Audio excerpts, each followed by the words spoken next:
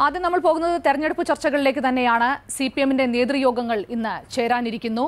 കഴിഞ്ഞ ദിവസം തന്നെ ഓരോ ജില്ലയിൽ നിന്നുമുള്ള സ്ഥാനാർത്ഥി പട്ടികയുടെ വിവരങ്ങൾ പുറത്തു വന്നിരുന്നു. അത് സംസ്ഥാന സമിതിക്ക് മുന്നിലേക്ക് എത്തിയിട്ടുണ്ട്. അവർ ഇന്നൊരു അന്തിമ രൂപം അക്കാര്യത്തിൽ എടുക്കും.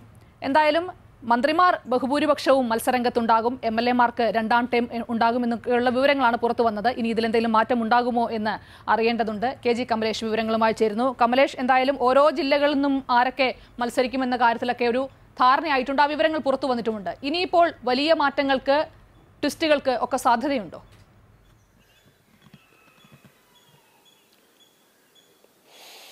ആ ശാലിനി ഗുഡ് മോർണിംഗ്. എന്തായാലും എൽ ഡി എഫിന്റെ സി പി എമ്മിന്റെ പട്ടിക പുതുമുഖങ്ങൾ യുവാക്കൾ എന്നിവർ ഒരുപാട് പേർ ഇത്തവണ ഉണ്ടാകുമെന്നൊക്കെ പറഞ്ഞു കേട്ടു. തദ്ദേശ ഭരണ തെരഞ്ഞെടുപ്പിൽ യുവാക്കളെ ഇറക്കിയുള്ള പരീക്ഷണം വിജയിച്ചു. അതിന്റെ ആവർത്തനം ഈ തെരഞ്ഞെടുപ്പിലും ഉണ്ടാകുമെന്നൊക്കെ പറഞ്ഞു. പക്ഷേ ജില്ലകളിൽ നിന്ന് തയ്യാറാക്കിയ പട്ടികയിൽ നിലവിലുള്ള എം എൽ എമാർ രണ്ട് ടേം കഴിഞ്ഞവർ മന്ത്രിമാരുടെ എം എൽ എമാരെ അവരൊക്കെ തന്നെ കൂട്ടത്തോടെ പട്ടികയിലുണ്ട്. എല്ലാ മന്ത്രിമാരെയും മത്സരിക്കാൻ താല്പര്യമില്ല എന്ന് പറഞ്ഞ മന്ത്രിമാർ ഉൾപ്പെടെയുള്ളവരെ എല്ലാ ജില്ലയിലും പട്ടികയിൽ ഉൾപ്പെടുത്തിയിട്ടുണ്ട്. Professor C. രവീന്ദ്രനാഥ് പുതുക്കാടും അതുപോലെ തന്നെ ടി പി രാമകൃഷ്ണന്റെ പേര് പേരാമ്പ്രയിലും ഒക്കെ തന്നെ കോഴിക്കോട് ജില്ലാ കമ്മിറ്റിയൊക്കെ ഉൾപ്പെടുത്തി. അങ്ങനെ ഒരു ലിസ്റ്റാണ് ഇപ്പോൾ സംസ്ഥാന കമ്മിറ്റിയുടെ പരിഗണനയിലേക്ക് വരുന്നത്. ഇതിൽ എന്തെങ്കിലും തരത്തിലുള്ള മാറ്റങ്ങൾ ഉണ്ടാകുമോ എന്നുള്ളതാണ് നമ്മൾ അറിയേണ്ടത്. മാത്രമല്ല ഈ ടേം വ്യവസ്ഥയിൽ ഇനി ഇളവ് വേണ്ട എന്നുള്ളൊരു കർശന നിലപാടിലേക്ക് സംസ്ഥാന ഘടകം നീങ്ങുമോ എന്നുള്ളതും അറിയാനുണ്ട്. ഇ പി ജയരാജൻ മത്സരിക്കാനില്ല എന്ന് പറയുന്ന സമയത്ത് പോലും ഇ പി എ സംസ്ഥാനത്ത് നിന്നും നിർബന്ധപൂർവം മത്സരിച്ചിറക്കാനുള്ള സാധ്യതയുണ്ട്. ഇത്തരം കാര്യങ്ങളിലൊക്കെ തന്നെ ഇന്നും നാളെയുമായി നടക്കുന്ന ചർച്ചകളിൽ അന്തിമ തീരുമാനം ഉണ്ടാകാനുള്ള സാധ്യതയാണ് തെളിയുന്നത്. പ്രത്യേകിച്ചും ഓരോ സീറ്റും നിർണായകം എന്നിരിക്കെ ഭരണ തുടർച്ചയിലേക്ക് എത്താൻ ഒരു പുതിയ പരീക്ഷണത്തിന് അങ്ങനെ വേണ്ട എന്നുള്ള നിലയിലാണ് ജില്ലയിൽ നിന്നും പട്ടിക തയ്യാറാക്കിയത്. അതിന്റെ അടിസ്ഥാനത്തിലാണ് പഴയ മുഖങ്ങൾക്ക് തന്നെ കൂടുതൽ പ്രാധാന്യം നൽകിയത്. എന്തെങ്കിലും തരത്തിലുള്ള വെട്ടിനിരത്തലോ കൂട്ടിച്ചേർക്കലോ ഉണ്ടോ എന്നുള്ളത് ഇന്നും നാളെയും ചേരുന്ന സംസ്ഥാന നേതൃയോഗത്തിൽ നിന്നും നമുക്ക് മനസ്സിലാകും. ശാലി കമലേഷ് യു ഡി എഫിൽ ജോസഫ് വിഭാഗവുമായി പലവട്ടം ചർച്ചകൾ നടന്നു. പക്ഷേ ഇപ്പോഴും അതൊരു തീരുമാനമാകാതെ അവിടെ നിൽക്കുന്നുണ്ട്. അതിനിടയിലാണ് മൂന്ന് സീറ്റ് കൂടി ലീഗ് ചോദിക്കുകയും ചെയ്തിരിക്കുന്നത്. അപ്പോൾ ഈ ചർച്ചകളിൽ ഇനി എന്ത് തീരുമാനമാണ് ഉണ്ടാകാൻ പോകുന്നത്?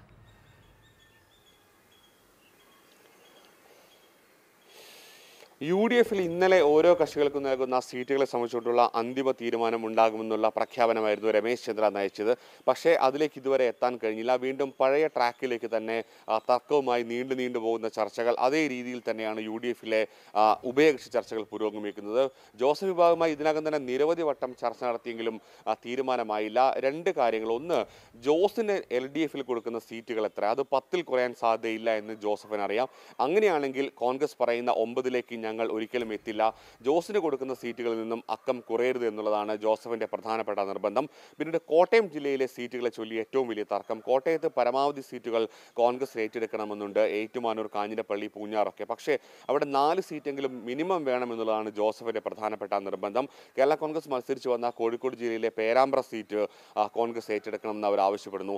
കോൺഗ്രസ് മുന്നോട്ട് വയ്ക്കുന്നത് നിങ്ങൾക്ക് സീറ്റ് തന്നാൽ പല സീറ്റിലും മത്സരിക്കാൻ ആളില്ല. ജയസാധ്യതയെ ബാധിക്കുമെന്നുള്ള വാദം കൂടി കോൺഗ്രസ് ഉയർത്തുന്നുണ്ട് എന്തായാലും തീരുമാനമായില്ല. നാളെ വീണ്ടും ജോസഫ് വിഭാഗവുമായി ചർച്ചയാണ്. ലീഗിന്റെതും അപ്രതീക്ഷിതമായാണ് ഈ ഇന്നലെ ഒരു പ്രതിസന്ധി ഉരുത്തിരിഞ്ഞത്. മൂന്ന് സീറ്റ് അധികമായി ലീഗിന് നൽകാൻ കോൺഗ്രസ് ഇതിനകം തന്നെ ധാരണയായിരുന്നു. പക്ഷേ ലീഗ് കോൺഗ്രസ് നൽകാൻ ഉദ്ദേശിച്ച സീറ്റുകളല്ല ഇപ്പോൾ ലീഗ് ചോദിക്കുന്നത്. പട്ടാമ്പി പേരാമ്പ്ര കൂത്തുപറമ്പ് പോലുള്ള സീറ്റുകൾ കോൺഗ്രസ് മത്സരിക്കാൻ ആഗ്രഹിക്കുന്ന സീറ്റുകളാണ് അവർ ചോദിച്ചത്. അതിന്റെ ഒരു പ്രശ്നം ഇപ്പോഴും ബാക്കിയുണ്ട്. ഇന്നത്തെ ഉപേക്ഷിച്ച ചർച്ചയോടുകൂടി അത് തീർക്കാൻ കഴിയുമെന്നുള്ളൊരു പ്രതീക്ഷ കോൺഗ്രസിനുണ്ട്. ശാലിനി. ശരി കമലേഷ്. ഇനി നമ്മൾ കൊച്ചിയിലേക്ക് പോവുകയാണ്. ഇന്ന് പ്രധാനപ്പെട്ട ഒരു നടപടി അവിടെ നടക്കാനിരിക്കുന്നത് കിഫ്ബിയുമായി ബന്ധപ്പെട്ടാണ്. കിഫ്ബിയിലെ എൻഫോഴ്സ്മെന്റ് ഡയറക്ടറേറ്റിന്റെ അന്വേഷണത്തിൽ അവർ കിഫ്ബി സിഇഒയ്ക്കും അതുപോലെ തന്നെ ഡെപ്യൂട്ടി മാനേജിംഗ് ഡയറക്ടർക്കും നോട്ടീസ് നൽകിയിട്ടുണ്ട് ഹാജരാവാനായി. അതിൽ ഡെപ്യൂട്ടി മാനേജിംഗ് ഡയറക്ടർ ഹാജരാകേണ്ട ദിവസം ഇന്നാണ് സിഇഒ നാളെയും. രാഷ്ട്രീയ പ്രതിരോധം തീർത്ത് സർക്കാർ ഇക്കാര്യത്തിൽ മുന്നോട്ട് പോവുകയാണ്. പെരുമാറ്റച്ചട്ട ലംഘനത്തിന് കേന്ദ്ര ധനമന്ത്രി തന്നെ നേതൃത്വം നൽകുന്നു എന്ന രീതിയിൽ വളരെ രൂക്ഷമായി സർക്കാർ കേന്ദ്ര സർക്കാരിനെതിരെയും അതുപോലെ ബി ജെ കേന്ദ്ര ധനമന്ത്രിക്കെതിരെയും ഇ ഡിക്കെതിരെയും ഒക്കെ ഇന്നലെ ധനമന്ത്രിയും സർക്കാരും രൂക്ഷമായ ആരോപണങ്ങൾ ഉയർത്തിയിരുന്നു. ഇനി എൻഫോഴ്സ്മെന്റ് ഡയറക്ടറേറ്റിന്റെ നടപടികൾ എന്തൊക്കെയാണെന്നാണ് നമുക്ക് നോക്കാനുള്ളത്. അഭിലാഷ് ചി നായർ കൊച്ചിയിൽ നിന്ന് ചേരുന്നുണ്ട്. അഭിലാഷ് പാലാരിവട്ടത്തിലേക്ക് ഞാൻ വരാം. അതിനു മുമ്പ് കിഫ്ബിയിലേക്കാണ് പോകുന്നത്. ഇന്നിപ്പോൾ ഡെപ്യൂട്ടി മാനേജിംഗ് ഡയറക്ടറോട് ഹാജരാകാനാണ് നോട്ടീസ് നൽകിയിരിക്കുന്നത്. മൊഴിയെടുക്കലിനായി എന്താണ് സാധ്യതകൾ?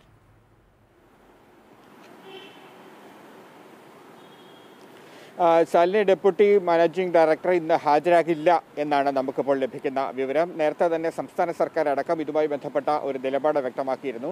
ഇ ഡിയുടേത് തെരഞ്ഞെടുപ്പ് കാലത്ത് ഒരു രാഷ്ട്രീയ വേട്ട എന്നാണ് മുഖ്യമന്ത്രി അടക്കം സി പി എം പരസ്യമായി ഇക്കാര്യത്തിൽ നിലപാടെടുത്തിരിക്കുന്നത്. ആ സാഹചര്യത്തിൽ കിഫ്ബി ഉദ്യോഗസ്ഥർ തൽക്കാലം ഇ ഡി ഡി അന്വേഷണവുമായി സഹകരിക്കാനുള്ള സാധ്യതയില്ല. ഇന്ന് ഡെപ്യൂട്ടി സിഇഒ ഇന്ന് ഹാജരാകാൻ സാധ്യതയില്ല എന്ന് തന്നെയാണ് നമുക്ക് മനസ്സിലാക്കുന്നത്. ഏതായാലും ഹാജരാകില്ല എന്ന കാര്യം ഇ ഡി ഔദ്യോഗികമായി അറിയിച്ചിട്ടുണ്ടോ എന്ന കാര്യം വ്യക്തമല്ല. പക്ഷേ അദ്ദേഹം ഇന്ന് കൊച്ചിയിൽ മൊഴിയെടുക്കാനായി ഹാജരാകില്ല എന്നാണ് നമുക്കിപ്പോൾ ലഭിക്കുന്ന ഏറ്റവും പ്രധാനപ്പെട്ട വിവരം. നമുക്കറിയാം ഈ വിഷയത്തെ രാഷ്ട്രീയമായിട്ട് നേരിടുവാൻ തന്നെയാണ് സംസ്ഥാന സർക്കാരും സി പി എമ്മും തീരുമാനിച്ചിരിക്കുന്നത്. ഇന്നലെ ധനമന്ത്രിയുടെയും മുഖ്യമന്ത്രിയുടെയും പ്രസ്താവനകൾ ഇതുമായി ബന്ധപ്പെട്ട് പുറത്തു വന്നു. സി പി എം സംസ്ഥാന സെക്രട്ടേറിയറ്റിന്റെയും പ്രസ്താവന പുറത്തു വന്നു. കേന്ദ്ര ധനമന്ത്രി നിർമ്മല സീതാരാമൻ കഴിഞ്ഞ ദിവസം കൊച്ചിയിൽ കിഫ്ബിയുമായി ബന്ധപ്പെട്ട് നടത്തിയ ചില പരാമർശങ്ങളുടെ അടിസ്ഥാനത്തിലാണ് ഈ കേസുമായി ഇപ്പോൾ കിഫ്ബി ഇ ഡി പെട്ടെന്ന് മുന്നോട്ട് പോകുന്നത് എന്നാണ് സംസ്ഥാന സർക്കാരിന്റെ വാദം. തെരഞ്ഞെടുപ്പ് അടുത്ത സാഹചര്യത്തിൽ ഇതൊരു പ്രധാനപ്പെട്ട രാഷ്ട്രീയ വിഷയമായി ഉയർത്തിക്കൊണ്ടുവരിക എന്നതാണ് ബി ജെ പി ശ്രമിക്കുന്നത്. അതിനെ രാഷ്ട്രീയമായി തന്നെ നേരിടും എന്നാണ് സി പി എം വ്യക്തമാക്കിയിരിക്കുന്നത്. ആ സാഹചര്യത്തിൽ സർക്കാരിന്റെ കീഴിലുള്ള ഈ കിഫ്ബി ബോർഡിലെ ഉദ്യോഗസ്ഥർ ഇന്ന് മൊഴിയെടുക്കലിന് ഹാജരാകേണ്ടതില്ല എന്നൊരു രാഷ്ട്രീയ തീരുമാനം കൂടി ഇതിന്റെ ഭാഗമായിട്ടുണ്ട് എന്നാണ് നമ്മൾ മനസ്സിലാക്കുന്നത്. ഏതായാലും കിഫ്ബി സംസ്ഥാനത്തെ ഒരു പ്രധാനപ്പെട്ട തെരഞ്ഞെടുപ്പ് വിഷയമായി ഇതിനോടകം തന്നെ മാറിക്കഴിഞ്ഞിരിക്കുക പ്രത്യേകിച്ച് സംസ്ഥാനത്തെ വലിയ വികസന പദ്ധതികളുടെ അടിസ്ഥാനം കിഫ്ബി വഴിയ നടപ്പാക്കിയ പദ്ധതികളാണ് അതിന് സമാഹരിച്ച പണമാണ് എന്ന് തന്നെയാണ് സംസ്ഥാന സർക്കാർ വ്യക്തമാക്കുന്നത്. അത്തരമൊരു ഏജൻസി അത്തരമൊരു കിഫ്ബി പോലെ ഒരു ഒരു സ്ഥാപനത്തെ തകർക്കുവാനുള്ള ഒരു ശ്രമം കേന്ദ്ര സർക്കാരിന്റെ ഭാഗത്തു നിന്നും ബി ജെ പി നടത്തുന്നു. അതിന്റെ ഭാഗമായിട്ടാണ് ഇ ഡിയുടെ ഈ പുതിയ അന്വേഷണം എന്ന ഒരു രാഷ്ട്രീയ നിലപാട് സംസ്ഥാന സർക്കാർ സ്വീകരിച്ച സാഹചര്യത്തിൽ ഇന്ന് ഈ മൊഴിയെടുക്കലുമായി സഹകരിക്കുവാൻ കിഫ്ബിയുടെ ഉയർന്ന ഉദ്യോഗസ്ഥർ എത്തില്ല നാളെ കെ എം ഇബ്രാഹിം ആ, ഇതുമായി ബന്ധപ്പെട്ട നോട്ടീസ് ലഭിച്ച സാഹചര്യത്തിലും അദ്ദേഹവും നാളെ മൊഴിയെടുക്കാൻ എത്തില്ല എന്നാണ് നമുക്ക് ഇപ്പോൾ ലഭിക്കുന്ന വിവരം. അഭിലാഷ് കൊച്ചിക്കാരുടെ ഗതാഗത പ്രശ്നത്തിന് ഒരു പരിഹാരമായി ഒരു വലിയ പ്രതീക്ഷയായി ഇപ്പോൾ പാലാരിവട്ടം ഇങ്ങനെ മുന്നിൽ നിൽക്കുകയാണ്. ഇന്നിപ്പോൾ ഭാരപരിശോധന റിപ്പോർട്ട് അടക്കം സർക്കാരിന് കൈമാറിക്കൊണ്ട് ഡി എം ആർ സി അവരുടെ നടപടികൾ പൂർത്തിയാക്കുന്നു സർക്കാരിന് കൈമാറുന്നു. ഇനി എപ്പോഴത്തേക്ക് ഇത് തുറന്നു കൊടുക്കുമെന്നാണ് മനസ്സിലാക്കാൻ കഴിയുന്നത്? ഈ ശ്രീധരൻ ഇന്നിപ്പോൾ അങ്ങോട്ടേക്ക് എത്തുന്നുണ്ടെന്നും മനസ്സിലാക്കുന്നു.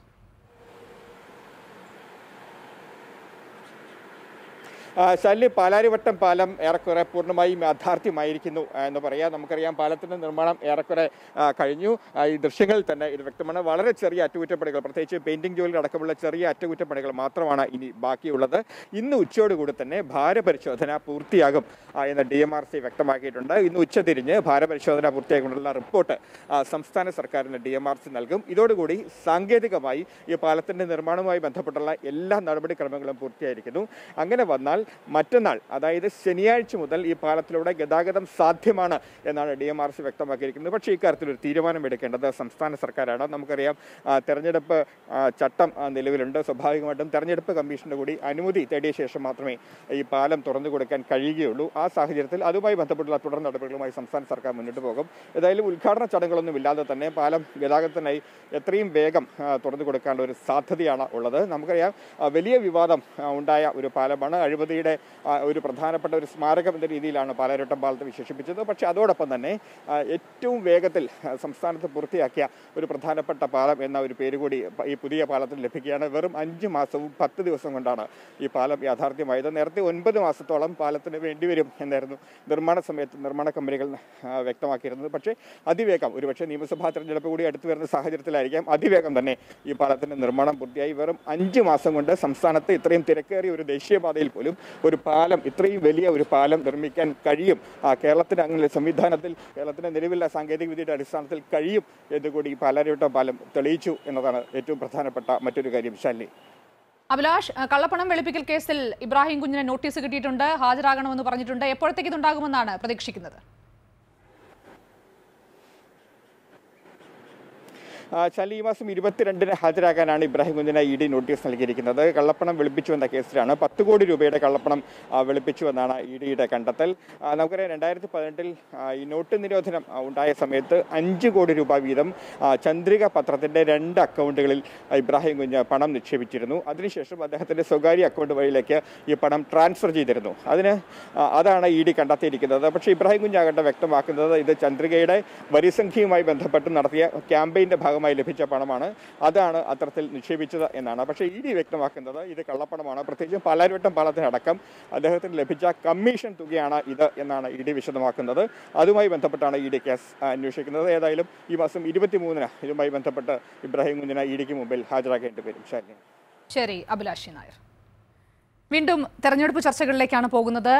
കോൺഗ്രസ് ലീഗ് സീറ്റ് തർക്കം ഇപ്പോഴും നിലനിൽക്കുന്നുണ്ട്. മൂന്ന് സീറ്റ് കൂടി അധികം വേണമെന്ന് ഇപ്പോൾ ലീഗ് ചോദിച്ചിട്ടുണ്ട്. ഈ സാഹചര്യത്തിൽ ഉഭയകക്ഷി ചർച്ചകൾ ഇനി എങ്ങനെ നടക്കുന്നു എന്നുള്ളത് പ്രധാനമാണ്. അതിനൊപ്പം തന്നെ ലീഗ് അവരുടെ സ്ഥാനാർത്ഥി ചർച്ചകളിലേക്ക് കടക്കുകയാണ് സ്ഥാനാർത്ഥി നിർണയത്തിലേക്ക് കടക്കുകയാണ്. കെ എം ഷാജി എവിടെ മത്സരിക്കണം എന്ന കാര്യത്തിലൊക്കെ ഒരു അനിശ്ചിതത്വം നിലനിൽക്കുന്നുണ്ട്. അതിനിടെ തന്നെ ഷാജിയുടെ ഒരു ഭീഷണി പ്രസംഗവും പുറത്തു വന്നിട്ടുമുണ്ട്. സന്ദീപ് തോമസ് ആണ് ഇതടക്കമുള്ള വിവരങ്ങളുമായി ചേർന്ന് സന്ദീപ് എന്തൊക്കെയായിരിക്കും സ്ഥാനാർത്ഥികളുടെ കാര്യത്തിൽ ലീഗ് എടുക്കാൻ പോകുന്ന തീരുമാനങ്ങൾ? പ്രത്യേകിച്ച് ഷാജിയുടെ കാര്യത്തിലടക്കം.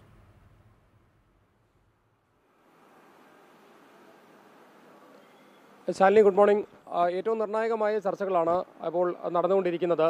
മുസ്ലിം ലീഗിനെ സംബന്ധിച്ച് നേരത്തെ ശാലിനി സൂചിപ്പിച്ചതുപോലെ തന്നെ പുതിയതായി അതായത് ഇരുപത്തിനാല് സീറ്റിലാണ് കഴിഞ്ഞ തെരഞ്ഞെടുപ്പിൽ ലീഗ് മത്സരിച്ചത്. മൂന്ന് സീറ്റ് കൂടി അധികമായി കിട്ടും എന്നുള്ളത് സംബന്ധിച്ച സൂചനകളൊക്കെ പുറത്തു വന്നിട്ടുണ്ട്. ചടയമംഗലം ബേപ്പൂര് അതുപോലെ തന്നെ കൂത്തുപറമ്പ്. പക്ഷേ ഇക്കാര്യത്തിൽ കോൺഗ്രസുമായിട്ടുള്ള ഉഭയകക്ഷി ചർച്ചകൾ ഇത് പൂർത്തിയായെങ്കിൽ മാത്രമേ ആ, സീറ്റുകളിലെ സ്ഥാനാർത്ഥികളെ കുറിച്ചുള്ള കൃത്യമായ ചർച്ചകളിലേക്ക് ലീഗിന് കിടക്കാൻ കഴിയും. പക്ഷേ ചില സാധ്യതാ പട്ടികകൾ പുറത്ത് പട്ടികകൾ ഇന്നലെ പുറത്തു വന്നിരുന്നു. അതിനെ ചുറ്റിപ്പറ്റിയാണ് വലിയ ചർച്ചകളും തർക്കങ്ങളും ഒക്കെ ഉയർന്നത്. കെ എം ഷാജി കാസർഗോഡ് മത്സരിക്കുന്നതിനെതിരെ കാസർഗോഡ് തന്നെ പ്രാദേശിക നേതൃത്വം മുസ്ലിം ലീഗ് നേതൃത്വത്തെ എതിർപ്പ് അറിയിച്ചിട്ടുണ്ട്. അതേസമയം തന്നെ അതേപോലെ തന്നെ മഞ്ചേശ്വരത്തും ഇതേപോലൊരു തർക്കം നിൽക്കുന്നുണ്ട്.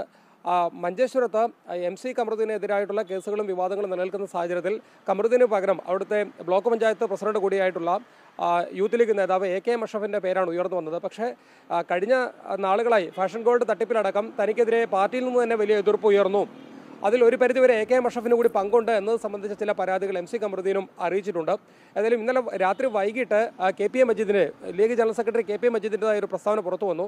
പറഞ്ഞത് ഇതാണ് സാധ്യതാ പട്ടിക എന്ന പേരിൽ പലതും പ്രചരിക്കുന്നുണ്ട്. പക്ഷേ ഇതൊന്നും പ്രവർത്തകരോ അല്ലെങ്കിൽ നേതാക്കളോ കണക്കിലെടുക്കേണ്ടതില്ല. മറിച്ച് മുസ്ലിം ലീഗിന്റെ സംസ്ഥാന പ്രസിഡന്റാണ് ഔദ്യോഗികമായി പ്രഖ്യാപിക്കുക. അതുവരെ ഇക്കാര്യത്തിൽ ഊഹാപോഹങ്ങൾ പ്രചരിപ്പിക്ക പ്രചരിപ്പിക്കരുത് എന്നാണ് കെ പി എ മജീദ് ഇന്നലെ വൈകിട്ട് ഇറക്കിയ പ്രസ്താവന. അതിനിടയിലാണ് ഇന്നലെ വൈകിട്ട് വൈകിട്ട് Azhikode M L A K M ഷാജിയുടെ ഒരു പ്രസംഗം ഒരു വെല്ലുവിളി പ്രസംഗം തന്നെ അഴീക്കോട് മണ്ഡലത്തിലെ വളപട്ടണത്ത് നടന്നത്. ഷാജി പറഞ്ഞത് തനിക്കെതിരെ പാർട്ടിക്കകത്തു നിന്നും പുറത്തു നിന്നും ചില നീക്കങ്ങൾ നടക്കുന്നു. ഇത്തരക്കാരെ താൻ തീർച്ചയായും പൊതുജന മധ്യത്തിൽ കൊണ്ടുവരും. അത്തരത്തിൽ തനിക്കെതിരായിട്ട് നീക്കം നടത്തുന്ന ആളുകൾക്കെതിരെ ക്ഷമിക്കുക. അവർക്ക് ആ കാര്യങ്ങൾ വിട്ടുവീഴ്ച നടത്തുന്ന ഒരു ശൈലി ശൈലി തനിക്കില്ല എന്നാണ് ഷാജി പറഞ്ഞത്. നമുക്കറിയാം അഴീക്കോട് സ്കൂൾ പ്ലസ് ടു കോഴ വിവാദം വലിയ തോതിൽ ഷാജിക്ക് പ്രതിസന്ധിയായിരുന്നു. ഏതായാലും ഇക്കുറി അഴീക്കോട് മണ്ഡലം ആ, തിരിച്ചുപിടിക്കാനുള്ള വലിയ ശ്രമത്തിലാണ് സി പി എം. അതുകൊണ്ട് തന്നെയാണ് ഒരു മണ്ഡല മാറ്റത്തെക്കുറിച്ച് ഷാജി ആലോചിക്കുന്നത്. ഏതായാലും ഈ തനിക്കെതിരായിട്ടുള്ള നീക്കങ്ങൾക്ക് പിന്നിൽ പാർട്ടിയിലെ ഒരു വിഭാഗം കൂടി ഉണ്ട് എന്നുള്ളൊരു വികാരമാണ് ഷാജിക്കുള്ളത്. അഴീക്കോട് നിന്നും ഷാജി മാറാൻ താല്പര്യപ്പെടുമ്പോൾ ഞാൻ നേരത്തെ സൂചിപ്പിച്ചതുപോലെ കാസർഗോഡ് നിന്നുള്ള എതിർപ്പ് വലിയ പ്രശ്നമായി തുടരുകയും ചെയ്യുന്നു. സന്ദീപ് വയനാട്ടിലെ കോൺഗ്രസിൽ ഓരോ ദിവസവും ഒരു രാജിവെച്ച് എന്ന തോതിലാണ് ഇപ്പോൾ കാര്യങ്ങൾ മുന്നോട്ട് പോകുന്നത്. ഇന്നലെയും അത് ഉണ്ടായിട്ടുണ്ട്. ഇതിങ്ങനെ തെരഞ്ഞെടുപ്പിന് ഏതാണ്ട് ഒരു മാസം മാത്രം ബാക്കി നിൽക്കുക ഇത് ഇങ്ങനെ തുടരുന്നത് വലിയൊരു തലവേദനയാണ് നേതൃത്വത്തിന്. ഇപ്പോൾ കെ സുധാകരനും കെ മുരളീധരനും ഒക്കെ ഇന്ന് ജില്ലയിലേക്ക് എത്തുന്നുണ്ട്. ഒരു പ്രശ്നപരിഹാരം എങ്ങനെയാണ് സാധ്യമാവുക?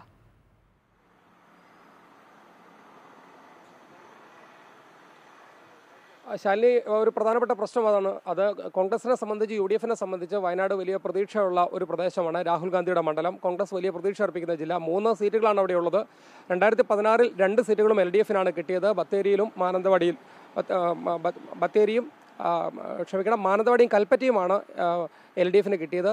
ബത്തേരി മണ്ഡലം മാത്രമാണ് യു ഡി എഫിന് നിലനിർത്താൻ കഴിഞ്ഞത്. ശാലിനി പറഞ്ഞതുപോലെ തന്നെ അടുപ്പിച്ച് ജില്ലാ കോൺഗ്രസ് നേതൃത്വത്തിലുള്ള പലരും അവിടുന്ന് രാജിവെക്കുന്നു. ഐ എൻ ടി സി നേതാവ് അനിൽകുമാർ രാജിവെച്ചു. അതുപോലെ തന്നെ കെ കെ വിശ്വനാഥൻ മറ്റൊരു ഡി സി സി നേതാവാണ്. അതുപോലെ തന്നെ സുജിയ വേണുഗോപാൽ മഹിളാ കോൺഗ്രസ് നേതാവ് രാജിവെച്ചു ഏറ്റവും ഒടുവിലാണ് എം എസ് വിശ്വനാഥൻ എന്ന ആദിവാസി വിഭാഗത്തിൽ നിന്നുള്ള കുറുമ സമുദായക്കാരനായ നേതാവ് രാജിവെച്ചത് അപ്പോൾ ഇതൊരു വലിയ പ്രതിസന്ധിയാണെന്നുള്ളത് തിരിച്ചറിഞ്ഞ് തന്നെയാണ് കെ പി സി സിയുടെ ഒരു ഇടപെടൽ. ഇന്ന് കെ സുധാകരൻ എം പിയും അതുപോലെ തന്നെ കെ മുരളീധരനും ജില്ലയിലെത്തി പ്രശ്നപരിഹാരത്തിന് ചർച്ചകൾ നടത്തുന്നുണ്ട്. വിശേഷിച്ച് ഇത്തരത്തിൽ ഞാൻ നേരത്തെ പറഞ്ഞതുപോലെ രാഹുൽ ഗാന്ധിയുടെ കൂടി മണ്ഡലമാണ്. ഇത് ഈ രാജിയൊക്കെ തന്നെ വലിയ വിവാദമായി മാറുന്ന പശ്ചാത്തലത്തിൽ. പക്ഷേ കോൺഗ്രസിനെ സംബന്ധിച്ച് ഒരു പരിധിവരെ അവർ അവർക്ക് ആശ്വസിക്കാൻ ഒരു വക ഇന്നലെ വൈകിട്ട് സി പി എമ്മിന്റെ ഒരു നേതാവും സി പി എമ്മിൽ നിന്ന് രാജിവെച്ച് കോൺഗ്രസിൽ ചേരുന്ന ചേരുന്ന സാഹചര്യമുണ്ടായി. ആദിവാസി ക്ഷേമ സമിതി ക്ഷേമ സഭയുടെ സി പി എമ്മിന്റെ സംഘടനയായ ആദിവാസി ക്ഷേമ സഭയുടെ സംസ്ഥാന സെക്രട്ടറിയായ ഇ എ ശങ്കരനാണ് ഏതായാലും സി പി എം വിട്ട് കോൺഗ്രസിൽ എത്തിയിരിക്കുന്നത്. ആദിവാസികളോടുള്ള അവഗണന എന്നാണ് ശങ്കരൻ ആരോപിക്കുന്നത്. ഏതായാലും ഇന്ന് ചേരുന്ന യോഗം വളരെ പ്രധാനമാണ്. ഇന്ന് തീർച്ചയായിട്ടും സ്ഥാനാർത്ഥികളെ സംബന്ധിച്ച കുറച്ചുകൂടി ഒരു വ്യക്തത വരും. ഒരുപക്ഷെ ഇ എ ശങ്കരനെ അതായത് സി പി എം വിട്ട് കോൺഗ്രസിലെത്തിയ ഇ എ ശങ്കരനെ ബത്തേരിയിൽ സ്ഥാനാർത്ഥിയാക്കുന്ന കാര്യവും ഡി സി സി നേതൃത്വം കോൺഗ്രസ് നേതൃത്വം പരിഗണിക്കുന്നുണ്ട്. അങ്ങനെയാണെങ്കിൽ നിലവിൽ ബത്തേരി എം എൽ എ ആയ ഡി സി സി പ്രസിഡന്റായ ഐ സി ബാലകൃഷ്ണൻ മാനന്തവാടി മണ്ഡലത്തിൽ നിന്ന് മത്സരിക്കാനുള്ള സാധ്യതകളും കാണുന്നുണ്ട്. ശരി സന്ദീപ് തോമസ്. ഇനി നമ്മൾ തമിഴ്നാട്ടിലേക്കാണ് പോകുന്നത്. പൊതുരംഗത്ത് നിന്ന് മാറുകയാണ് രാഷ്ട്രീയത്തിൽ നിന്ന് പിന്മാറുകയാണെന്ന നാടകീയ പ്രഖ്യാപനം വി കെ ശശികല നടത്തിയത് ഇന്നലെയാണ്. ജയിലിൽ നിന്ന് പുറത്തിറങ്ങിയ ഉടനെ സജീവമായി താൻ ഈ രാഷ്ട്രീയ രംഗത്ത് ഉണ്ടാകും അല്ലെങ്കിൽ തെരഞ്ഞെടുപ്പ് രംഗത്ത് ഉണ്ടാകുമെന്ന് പറഞ്ഞയാൾ വളരെ നാടകീയമായിട്ടാണ് ഇങ്ങനൊരു പിന്മാറ്റം നടത്തിയിരിക്കുന്നത്. എന്തായാലും ബി ഇപ്പോൾ ആ തീരുമാനത്തെ സ്വാഗതം ചെയ്യുന്നുണ്ട്. ജയലളിതയുടെ പാരമ്പര്യം ഉയർത്തിപ്പിടിച്ചുകൊണ്ട് ഡി എം കെ പര അധികാരത്തിൽ നിന്ന് മാറ്റി നിർത്തിക്കൊണ്ട് മുന്നോട്ട് പോവുക എന്ന അണികൾക്ക് അവർ ഒരു സന്ദേശവും ഒരു വാർത്താക്കുറിപ്പായി നൽകുകയും ഒക്കെ ചെയ്തിട്ടുണ്ട്. ബി ജെ പി എന്തായാലും ഇപ്പോൾ ആ തീരുമാനത്തെ സ്വാഗതം ചെയ്യുന്നു. മനുശങ്കർ വിവരങ്ങളുമായി ചേരുന്നു. Manu good morning. എന്തായാലും ഒന്നും കാണാതെ ശശികല പിന്മാറില്ല. കാരണം അത്തരത്തിലുള്ള നാടകീയ നീക്കങ്ങളാണ് പലപ്പോഴും തമിഴകം കണ്ടിട്ടുള്ളത്. അപ്പോൾ അതുകൊണ്ട് തന്നെ ഈ പിന്മാറ്റം ഒരു താൽക്കാലികമായിരിക്കുമോ? എന്താണ് മനുവിന് മനസ്സിലാവുന്നത്?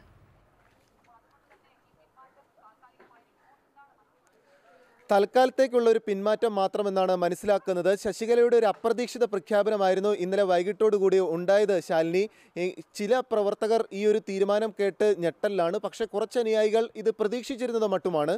കാരണം ഈ ശശികല കഴിഞ്ഞ ഫെബ്രുവരി എട്ടിന് ചെന്നൈയിലേക്ക് നിരവധി അനുയായികളെ അണിനിരത്തി ശക്തി പ്രകടനവുമായി എത്തുമ്പോഴും ഈ ടി നഗറിലുള്ള ഈ ഇളവരശിയുടെ മകളുടെ വസതിയിൽ തന്നെയാണ് തുടർന്നിരുന്നത്. നിരവധി വിമത എം എൽ എമാരുമായി കൂടിക്കാഴ്ചകൾക്കൊക്കെ ശ്രമിച്ചിരുന്നു. അപ്പോഴും ഒരു റാലിക്കോ ജയാസമാധിയിലേക്ക് ഒരു ശക്തി പ്രകടനത്തിനോ ശശികല മടിച്ചിരുന്നു.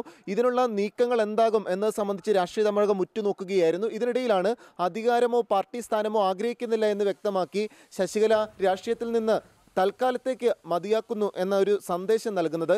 ഇത് വ്യക്തമാക്കുന്നത് ഈ തെരഞ്ഞെടുപ്പിൽ അണ്ണാ ഡി എം കെക്കൊപ്പം നിന്ന് അണ്ണാ ഡി എം കെയും ഒപ്പം ഈ സഹോദരി പുത്രൻ ദിനകരൻ രൂപീകരിച്ച അമ്മാ മക്കൾ മുന്നേറ്റ കഴകവും ഒരുമിപ്പിച്ച് കൊണ്ടുപോവുക എന്നൊരു നീക്കം ബി ജെ പി നടത്തുന്നതിനിടയിൽ കൂടിയാണ് ഈ ഒരു അപ്രതീക്ഷിത പ്രഖ്യാപനം ഉണ്ടാകുന്നത്. ഇതിലൂടെ ശശികല ലക്ഷ്യമിടുന്നത് അണ്ണാ ഡി എം കെയുടെ ഒരു പതനം പൂർണമാക്കുക എന്നത് തന്നെയാണ്. കാരണം അമ്മാ മക്കൾ മുന്നേറ്റ കഴകവും അണ്ണാ ഡി എം കെയും ഒരുമിച്ച് എത്തിയാൽ വീണ്ടും എടപ്പാടി പളനിസ്വാമി സർക്കാരിന് ഒരു അവസരം നൽകുന്ന സ്ഥിതിയിലേക്കൊക്കെ കാര്യങ്ങൾ പോയേനെ. പക്ഷേ ഇപ്പോൾ രാഷ്ട്രീയത്തിൽ നിന്ന് പൂർണമായി വിട്ടുനിൽക്കുന്ന എന്നൊരു തീരുമാനം വരുമ്പോൾ അമ്മാമക്കൾ മുന്നേറ്റ ഘടകവും അണ്ണാ ഡി എം കെയും രണ്ട് പാർട്ടികളായി മത്സരിക്കുന്നു. വോട്ട് ഭിന്നതയിലേക്ക് കാര്യങ്ങൾ പോകാം. അങ്ങനെയെങ്കിൽ ഡി എം കെക്ക് കൂടുതൽ കാര്യങ്ങൾ അനുകൂലമാകാൻ തന്നെയാണ് സാധ്യത തെളിയുന്നത്. അങ്ങനെയെങ്കിൽ അണ്ണാ ഡി എം കെ സർക്കാരിന്റെ ഇപ്പോഴത്തെ E P S O P S നേതൃത്വത്തിന്റെ പതനം പൂർണമാവുകയും ഇതിനുശേഷം പാർട്ടിയുടെ അധികാരസ്ഥാനം പിടിക്കാം എന്നൊരു കണക്കൂട്ടലിലുമാണ് ശശികല ക്യാമ്പ് ഉള്ളത് എന്ന് തന്നെയാണ് മനസ്സിലാക്കുന്നത്. പക്ഷേ മാധ്യമങ്ങൾക്ക് നൽകിയ രണ്ട് പേജുള്ള കത്തിൽ ഡി എം കെ ആണ് പ്രധാന ശത്രുവെന്നും ഡി എം കെ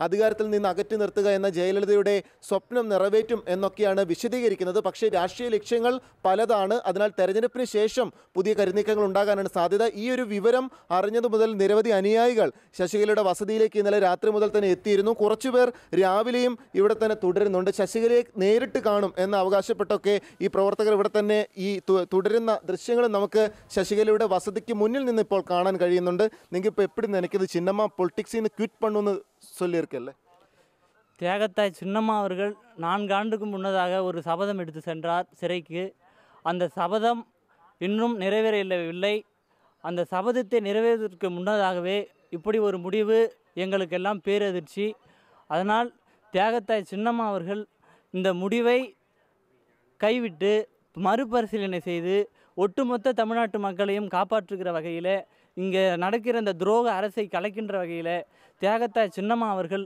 அம்மா கண்ட கனவை நிறைவேற்றிட அவர்கள் இந்த முடிவை கைவிட்டு எங்களை எல்லாம் எங்களை போன்ற தொண்டர்கள் நாங்கள் எல்லாம் மூன்று மூன்று நாள் இங்கேவே தான் இருக்கிறோம். இந்த ராவு பகல் தூக்கம் பாராமல் கொசுக்கடியும் பாராமல் தெய்வத்தை பார்க்குற அதாவது தா பிள்ளைகளை அதாவது தா ஒரு தாயை கண்ட பிள்ளைகளாக நாங்கள் எல்லாம் தவித்து கொண்டிருக்கிறோம்.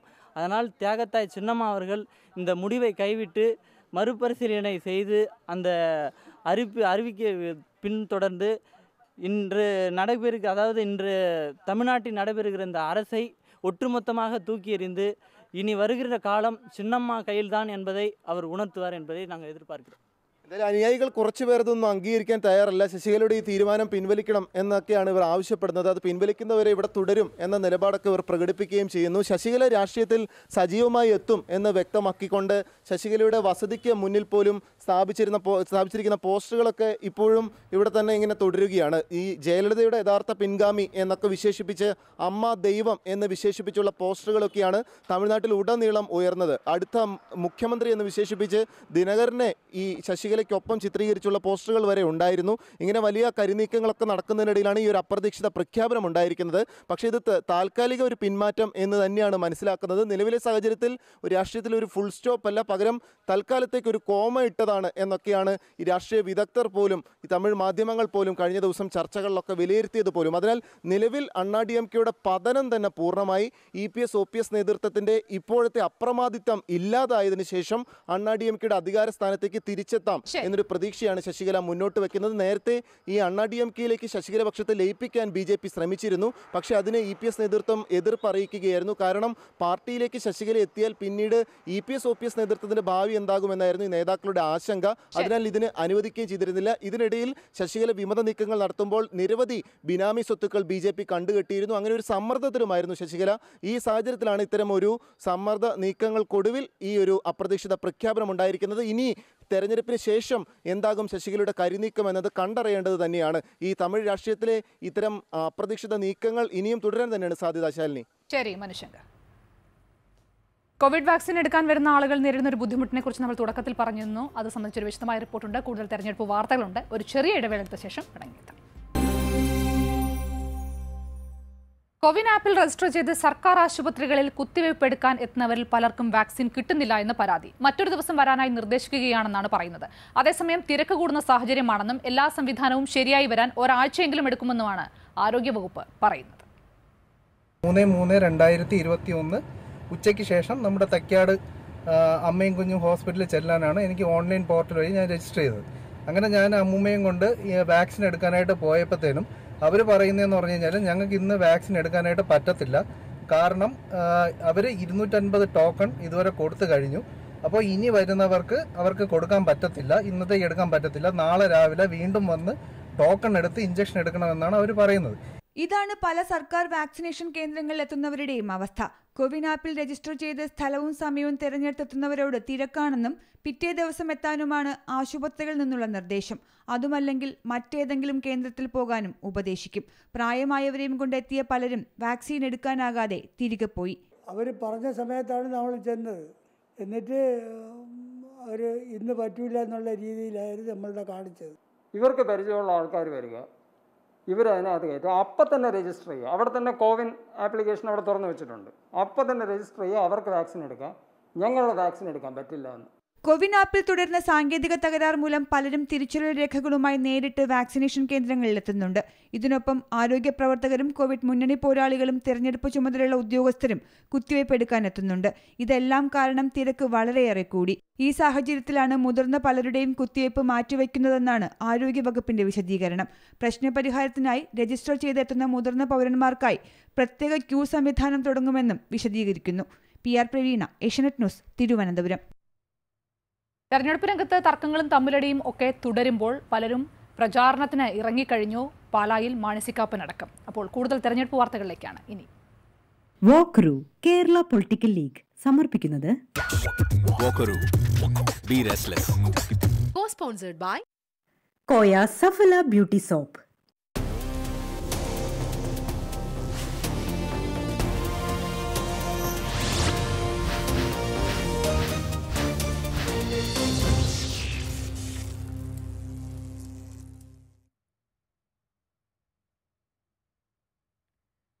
ഇരവിപുരത്തെ തന്റെ സ്ഥാനാർത്ഥിത്വം പാർട്ടി ഒറ്റക്കെട്ടായി എടുത്ത തീരുമാനമാണെന്ന് ആർ എസ് പി നേതാവ് ബാബു ദിവാകരൻ. എ എ അസീസിനായി മാറി നിൽക്കാൻ തയ്യാറായിരുന്നുവെങ്കിലും അസീസ് തന്നെ തന്റെ പേര് നിർദ്ദേശിക്കുകയായിരുന്നുവെന്നും ബാബു ദിവാകരൻ ഏഷ്യാനെറ്റ് ന്യൂസിനോട് പറഞ്ഞു.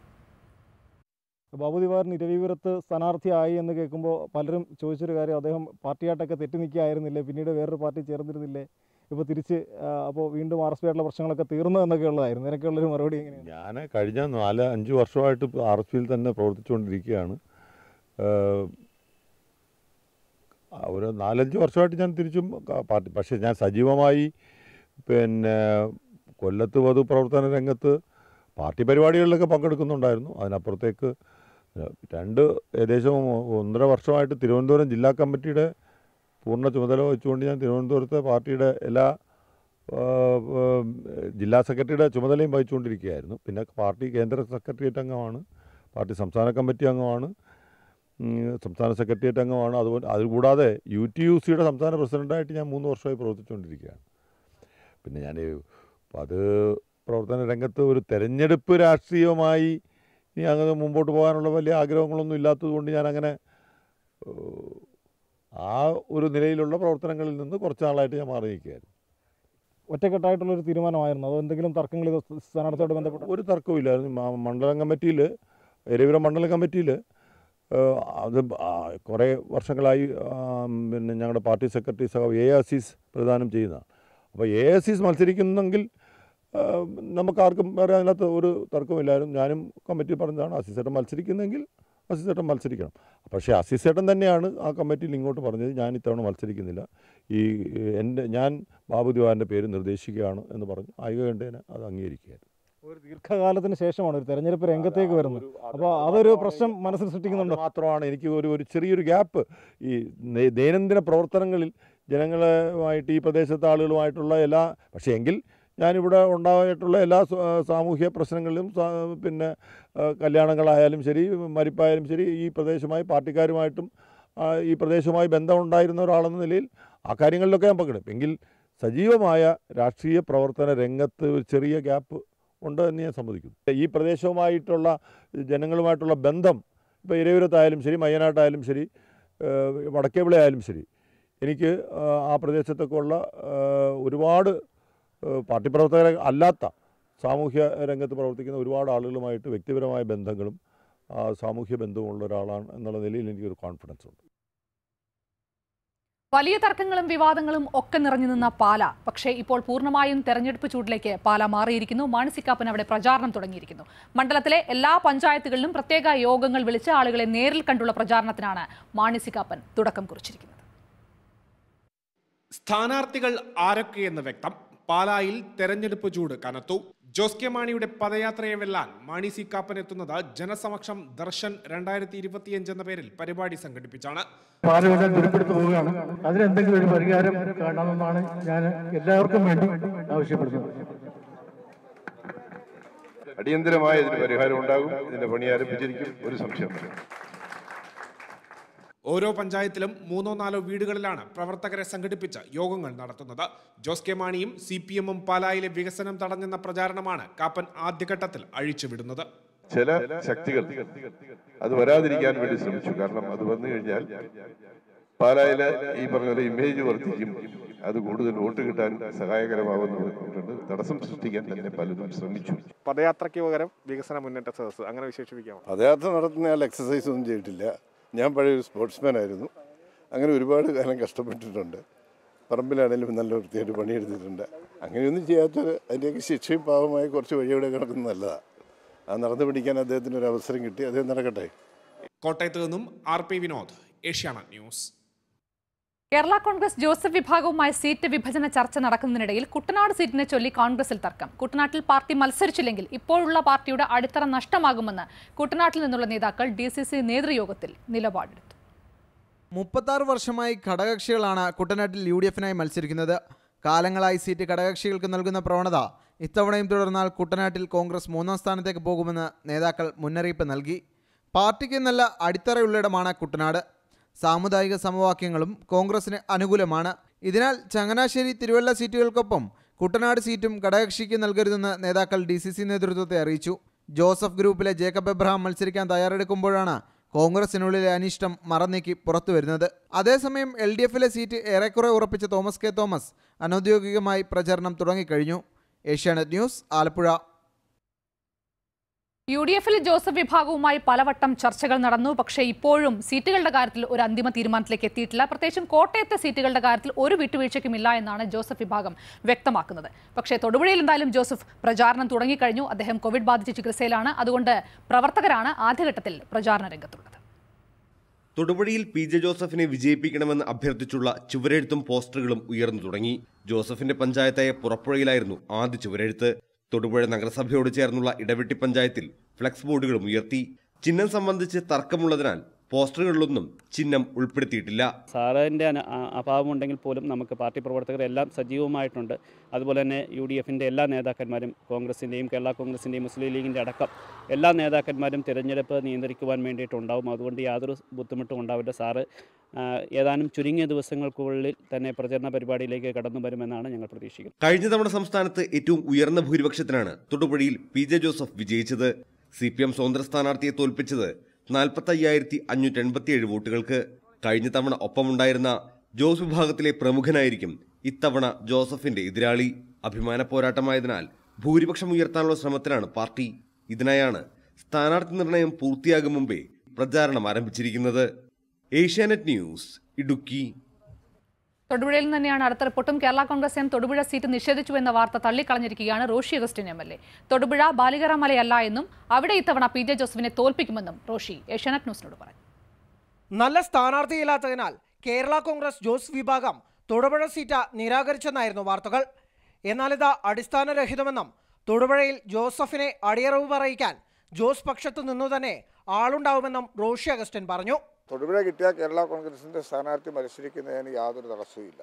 ഒരു സീറ്റും ബാലികറമലയാണെന്ന് എനിക്ക് വിശ്വാസമില്ല. മത്സരിക്കുന്നതിനും ആ രാഷ്ട്രീയ അടിത്തറ ആ നിലയിൽ നിലനിർത്തി കൊണ്ടുപോകുന്നതിന് സാധിക്കാൻ കഴിയാത്തതുമായ മണ്ഡലമൊന്നും അല്ല തൊടുപുഴ. തദ്ദേശ തെരഞ്ഞെടുപ്പിൽ ഇടുക്കി ഓറഞ്ചിൽ കേരള കോൺഗ്രസിനുണ്ടായ തിരിച്ചടിയെ നിയമസഭാ തെരഞ്ഞെടുപ്പിൽ ആവർത്തിക്കില്ല. ഭരണത്തുടർച്ചയെന്ന പൊതുവികാരം തൊടുപുഴയിലും ആഞ്ഞടിക്കുമെന്ന് റോഷി പറഞ്ഞു. പി. ജെ. ജോസഫിനെ നേരിടാൻ പ്രൊഫസർ കെ ഐ ആന്റണിയെ കേരള കോൺഗ്രസ് രംഗത്തിറക്കുമെന്നാണ് സൂചന. ഇടുക്കി സീറ്റിൽ റോഷിയും മത്സരിക്കും. ഏഷ്യാനെറ്റ് ന്യൂസ് ഇടുക്കി. കോൺഗ്രസിലെ സ്ഥാനാർത്ഥി പട്ടികയെക്കുറിച്ച് നമുക്കറിയാം. ഒരു പേരിൽ ഒരിക്കലും ഒതുങ്ങി നിൽക്കുന്നതല്ലാതെ. അപ്പോൾ അങ്ങനെ ഈ പട്ടികയിൽ പേരുണ്ടാവുകയും പിന്നീട് സ്ഥാനം കിട്ടാതെ ആകുകയും സീറ്റ് കിട്ടാതെ ആകുകയും ചെയ്യുന്ന ആളുകളെ അനുനയിപ്പിക്കാൻ കോൺഗ്രസ് ഇപ്പോൾ ഒരു പ്രത്യേക സമിതി തന്നെ ഉണ്ടാക്കിയിരിക്കുകയാണ്. സർക്കാരിനെതിരെ വികാരമുണ്ടാക്കണം ഉൾപാർട്ടി പോര് പരിഹരിക്കണം ആഭ്യന്തര കലഹത്തിനുള്ള വഴിയടയ്ക്കണം ഭരണം പിടിക്കാൻ കോൺഗ്രസിന് മുന്നിലുള്ള വെല്ലുവിളികളേറെ. ഇതിനിടെ സ്ഥാനാർത്ഥിത്വം കിട്ടാത്തവരുടെ കാലുവാരിൽ കൂടി ഉണ്ടായാൽ കാര്യങ്ങൾ കൂടുതൽ കുഴപ്പിക്കും. തെരഞ്ഞെടുപ്പിന് വിരലെണ്ണാവുന്ന ദിവസങ്ങൾ മാത്രം ബാക്കി നിൽക്കെ വിമത ശബ്ദങ്ങൾ ഒഴിവാക്കാൻ ഒരു മുഴം മുമ്പേ എറിയുകയാണ് നേതൃത്വം. ഒറ്റപ്പേരിലേക്ക് എത്താൻ കഴിയാത്ത മണ്ഡലങ്ങളിൽ സാധ്യത കുറഞ്ഞവരെ മുൻകൂട്ടി കാര്യങ്ങൾ അറിയിക്കും. ലക്ഷ്യം ഭരണം മാത്രമെന്നും ഇപ്പോഴില്ലെങ്കിൽ പിന്നെയില്ലെന്നുമാണ് നേതൃത്വം മുന്നോട്ട് വെക്കുന്നത് കേരളത്തിൽ ചുമതലയിലുള്ള എ ഐ സി സി സെക്രട്ടറിമാരായ Ivan D'Souza P Vishwanathan P V Mohan എന്നിവരുടെ നേതൃത്വത്തിലായിരിക്കും നേതാക്കളെ അനുനയിപ്പിക്കാനുള്ള ശ്രമങ്ങൾ നടത്തുക. കെ സി വേണുഗോപാലിന്റെയും താരിഖ് അൻവറിന്റെയും ഇടപെടലുണ്ടാവും. കോൺഗ്രസ് മത്സരിക്കാനൊരുങ്ങുന്ന ഭൂരിഭാഗം മണ്ഡലങ്ങളിലും ഒന്നിലധികം പേരുകളുണ്ട്. മുൻകാലങ്ങളിൽ കാലുവാരി തോൽപ്പിച്ചെന്ന പരാതി ഉയർന്ന മണ്ഡലങ്ങളിൽ സമാന സാഹചര്യം ഉണ്ടാവില്ലെന്നും സമിതി ഉറപ്പുവരുത്തണം വിമത ശബ്ദം ഉയർത്തുന്ന നേതാക്കൾക്ക് യു ഡി എഫ് ഭരണത്തിലെത്തിയാൽ ബോർഡ് കോർപ്പറേഷനുകളടക്കം നൽകാമെന്ന ധാരണയും ഉണ്ടാവും ചടയമംഗലം പുനലൂർ മൂവാറ്റുപുഴ ചങ്ങനാശ്ശേരി തുടങ്ങി ഘടകകക്ഷികൾക്ക് നൽകിയതും വെച്ചുമാറിയതുമായ സീറ്റുകളിലെ പ്രാദേശിക നേതൃത്വത്തിന്റെ പരസ്യ പ്രതിഷേധങ്ങളിലും സമിതി ഇടപെടും. Vithin M Das Asianet news Pathanamthitta. സാമൂഹ്യ സേവനവും സ്ഥാനാർത്ഥിയാവാനുള്ള ആഗ്രഹവും എല്ലാം നല്ലതാണ്. പക്ഷേ ജീവിതം മുന്നോട്ട് കൊണ്ടുപോകാനുള്ള സംവിധാനം കൂടി ഉണ്ടാകണമെന്നാണ് പ്രവാസിയായ പഴയ യൂത്ത് ലീഗ് നേതാവ് സി പി അബ്ദുറഹ്മാന് പറയാനുള്ളത്. കുടുംബ ബജറ്റ് താളം തെറ്റിയതോടെ പഞ്ചായത്ത് വൈസ് പ്രസിഡന്റ് പദവി രാജിവെച്ച് പ്രവാസം തെരഞ്ഞെടുത്ത സി മറ്റൊരു തെരഞ്ഞെടുപ്പ് കാലത്ത് ദുബായിൽ ചുമടെടുക്കുന്ന തിരക്കിലാണ്.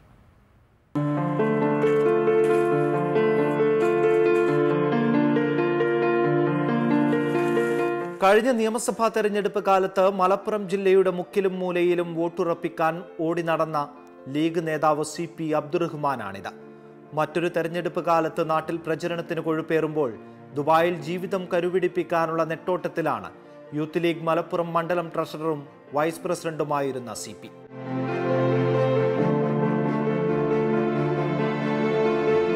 അബ്ദുറഹ്മാൻ ലീഗിനെയും യു ഡി എഫിനെയും സംബന്ധിച്ചിടത്തോളം സാധാരണ പ്രവർത്തകൻ മാത്രമായിരുന്നില്ല. ആനക്കയം പഞ്ചായത്ത് വൈസ് പ്രസിഡന്റ് പദവിയിലിരിക്കെയാണ് ജീവിതത്തിന്റെ രണ്ടറ്റം കൂട്ടിമുട്ടിക്കാനാവാതെ വന്നപ്പോൾ രാജിവെച്ച് പ്രവാസ ഭൂമിയിലേക്ക് പറക്കുന്നത് ഒരു ഡാം മെമ്പറായിട്ട് അഞ്ചു കൊല്ലം നിന്നു. അത് കഴിഞ്ഞ് വീണ്ടും നടന്ന തെരഞ്ഞെടുപ്പ് മത്സരിച്ചു. വൈസ് പ്രസിഡന്റായി. പക്ഷേ അത് രണ്ടര വർഷം ആക്കാരെ കഴിഞ്ഞുകൊണ്ട് പൂർത്തിയാക്കാൻ വേണ്ടി കഴിഞ്ഞില്ല. ആ സമയത്ത് വീണ്ടും പ്രവാസം സ്വീകരിച്ച് സാമ്പത്തികമായ പരാധീനത വീട് വെച്ചിരുന്നു. വീട് വെക്കാൻ വേണ്ടി ഒരു കോപ്പറേറ്റീവ് ബാങ്കിൽ നിന്ന് ലോൺ എടുത്തിരുന്നു. അതൊരു മൂന്ന് ലക്ഷം രൂപ അത്രേ ഉള്ളൂ. പക്ഷെ അത് ഈ ഇത് മാത്രമായി കഴിഞ്ഞാൽ അത് ലോൺ അടക്കാനൊക്കെ വളരെ ബുദ്ധിമുട്ടിയ സമയം ഉണ്ടായിട്ടുണ്ട്. അപ്പോൾ പിന്നെ അതിനൊക്കെ ഒരു പരിഹാരം ഉണ്ടാവണമെങ്കിൽ നമുക്ക് എന്തെങ്കിലും സ്വന്തമായിട്ടൊരു കുറച്ചെങ്കിലും വരുമാനമുള്ള തൊഴിലുണ്ടാവണം എന്നുള്ള അതേ രക്ഷയുള്ളൂ എന്നുള്ളതൊക്കെ മദ്രസ അധ്യാപകനായിരുന്ന സി പി മുസ്ലിം ലീഗ് സ്ഥാനാർത്ഥിയായി രണ്ട് തവണയാണ് പഞ്ചായത്ത് അംഗമായത്. രണ്ടായിരത്തി പത്തിലും പതിനഞ്ചിലും. മെമ്പറായിരുന്ന ആദ്യ അഞ്ചു വർഷം മദ്രസയിൽ ജോലി ചെയ്തെങ്കിലും വൈസ് പ്രസിഡന്റായപ്പോൾ പൂർണമായും രാഷ്ട്രീയത്തിലേക്ക് ഇറങ്ങേണ്ടി വന്നു.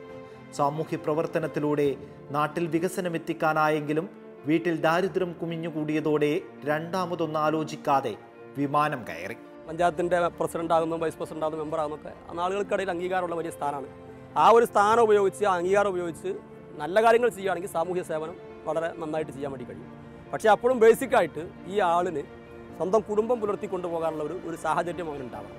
ഇല്ലെങ്കിൽ ഈ ഉള്ള പ്രവർത്തനങ്ങളിലൊന്നും വേണ്ട പോലെ സൂക്ഷ്മത പാലിക്കാൻ കഴിയില്ല. അത് ദുഷ്പേരിനും ദുഷ്പ്രവർത്തികൾക്കൊക്കെ കാരണമാകുന്നതാണ് എന്റെ വ്യക്തിപരമായ ഒരു പക്ഷം ആ പക്ഷം ഞാൻ എപ്പോഴും ഇപ്പോഴും ഞാൻ അങ്ങനെ ഉറച്ചു വിശ്വസിക്കുന്നത് പ്രവാസി സംഘടനാ പ്രവർത്തനത്തിൽ സജീവമാണെങ്കിലും സോനാപൂരിലെ സൂപ്പർ മാർക്കറ്റിൽ ജോലി ചെയ്യുന്ന സി പി യുടെ മനസ്സിപ്പോഴും കടലിനക്കരെ തന്നെ. നാട് നന്നാവാൻ യു ഡി എഫ് വരണമെന്ന ആഗ്രഹമുണ്ടെങ്കിലും വീടും കുടുംബവും നന്നാവാൻ താൻ ചുമടെടുത്തേ മതിയാവൂ എന്ന് പറഞ്ഞ് അടുത്ത ജോലി തിരക്കിലേക്ക് കടക്കുകയാണ് ആ യുവ നേതാവ്. സുജി സുന്ദരേശിനൊപ്പം അരുൺ രാഘവൻ ഏഷ്യാനെറ്റ് ന്യൂസ് ദുബായ്. ഇനി ഇന്ന് അറിയേണ്ട ചില കാര്യങ്ങളുണ്ട്. എന്തൊക്കെയാണെന്ന് നോക്കാം. ഇടവേളയ്ക്ക് ശേഷം. അപ്പോൾ പുനർനിർമ്മാണ പ്രവർത്തനങ്ങളെല്ലാം പൂർത്തിയാക്കിക്കൊണ്ട് പാലാരിവട്ടം ജനങ്ങൾക്ക് തുറന്നു കൊടുക്കാനായി പോവുകയാണ്. ഇന്ന് അവസാനവട്ട പരിശോധനകൾ അവിടെ ഡി എം ആർ സിയുടെ നേതൃത്വത്തിൽ നടക്കുകയാണ്. മുഖ്യ ഉപദേഷ്ടാവ് ഇ ശ്രീധരൻ അങ്ങോട്ടേക്ക് എത്തിക്കഴിഞ്ഞു. ഇന്ന് അവർ ഭാരപരിശോധന റിപ്പോർട്ട് സർക്കാരിന് കൈമാറും.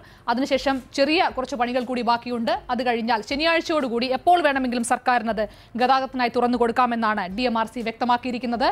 അന്ന് ഈ പുനർനിർമ്മാണ പ്രവർത്തികൾ ഡി എം ആർ സിയെ ഏൽപ്പിക്കുമ്പോൾ ഒൻപത് മാസത്തെ കാലാവധിയാണ് സർക്കാർ പറഞ്ഞത്. പക്ഷേ അതിനും വളരെ നേരത്തെ അഞ്ചു മാസത്തിൽ അഞ്ചു മാസവും പത്ത് ദിവസവും കൃത്യമായി പറഞ്ഞാൽ ഈ നിർമ്മാണ പ്രവർത്തനങ്ങൾ പൂർത്തിയാക്കിയിരിക്കുകയാണ്. എന്തായാലും കൊച്ചിയിലെ ഗതാഗത കുരുക്കിന് ഒരു വലിയ ആശ്വാസമാകും ഈ പാലം വരുന്നതോടുകൂടി എന്നുള്ളത് തന്നെയാണ് ഒരു പ്രതീക്ഷ. എൻ കെ ഷിജു ഉണ്ട് അവിടെ. ഷിജു ഇപ്പോൾ ഈ ശ്രീധരൻ സ്ഥലത്തേക്ക് എത്തിയിരിക്കുന്നു. ഏത് രീതിയിലാണ് അവിടെ പരിശോധനകൾ പുരോഗമിക്കുന്നത്?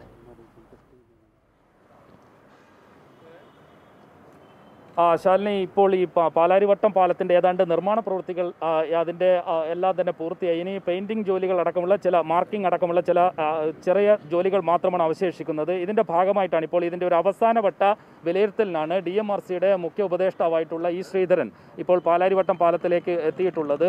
ഭാരപരിശോധന കഴിഞ്ഞ ദിവസങ്ങൾ കൊണ്ട് പൂർത്തിയാക്കി കഴിഞ്ഞു. ഈ ഒരു സാഹചര്യത്തിൽ ഇനി ഇന്നത്തെ ഈ അന്തിമ പരിശോധന അടക്കം പൂർത്തിയാക്കി അദ്ദേഹം പാലം അതായത് പൊതുമരാമത്തിന്റെയും റോഡ്സ് ആൻഡ് ബ്രിഡ്ജസ് കോർപ്പറേഷന്റെയും അനുമതി ലഭിച്ചാൽ പാലം കൈമാറാം എന്ന ഒരു അന്തിമ അറിയിപ്പ് ലഭിച്ചാൽ ഉടൻ തന്നെ സർക്കാരിന് കൈമാറുക എന്നതാണ് ഡി എം ആർ സിയുടെ ഈ നിർമ്മാണത്തിന്റെ കരാറിന് മേൽനോട്ടം ഏറ്റെടുത്ത ഡി എം ആർ സിയുടെ മുന്നിലുള്ള വഴി. അദ്ദേഹം അതിന്റെ ഭാഗമായിട്ടാണ് ഇപ്പോൾ ഈ പാലത്തിലെത്തി പരിശോധന നടത്തുന്നത്. അതിന്റെ ദൃശ്യങ്ങളാണ് ഇപ്പോൾ കാണാൻ കഴിയുന്നത്. ഈ ശ്രീധരനെ സംബന്ധിച്ച് അദ്ദേഹം കേരളത്തിൽ ഒരുപക്ഷെ അദ്ദേഹത്തിന്റെ നേതൃത്വത്തിൽ പൂർത്തീകരിക്കുന്ന ഒരു അവസാന ജോലി എന്ന നിലയിലാണ് അദ്ദേഹം അതിനെ വിശേഷിപ്പിക്കുന്നത്. കാരണം ഇനി അദ്ദേഹം രാഷ്ട്രീയ രംഗത്തേക്കാണ് രംഗത്തേക്കാണ് നമുക്കറിയാവുന്നതുപോലെ അതുകൊണ്ട് ഇനി ഇത്തരത്തിലുള്ള നിർമ്മാണ പ്രവർത്തനങ്ങൾക്ക് ഒഫീഷ്യലി അദ്ദേഹം ഏതെങ്കിലും തരത്തിൽ അതിന് അദ്ദേഹം നിൽക്കില്ല. അതുകൊണ്ട് തന്നെ അദ്ദേഹം ഇപ്പോൾ അതിന്റെ ഒരു അദ്ദേഹത്തിന്റെ ഒരു ഔദ്യോഗിക ജീവിതത്തിലെ ഒരു അവസാന മേൽനോട്ടം നിർമ്മാണ പ്രവൃത്തികളുടെ ഒരു അവസാന മേൽനോട്ടം എന്ന നിലയിലാണ് ഇപ്പോൾ എത്തിയിട്ടുള്ളത് അദ്ദേഹം മാധ്യമ അല്ല ഞങ്ങൾക്ക് കൊടുക്കണ്ട. മൈക്ക് കൊടുത്തോ? അങ്ങോട്ട് കൊടുത്താൽ എനിക്ക്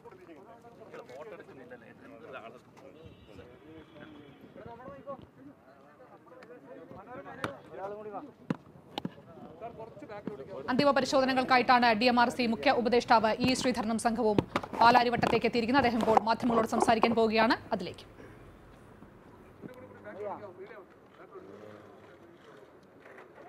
സാർ ഈ നിർമ്മാണ പ്രവൃത്തികളെല്ലാം പൂർത്തിയാക്കി കൈമാറുകയാണ്.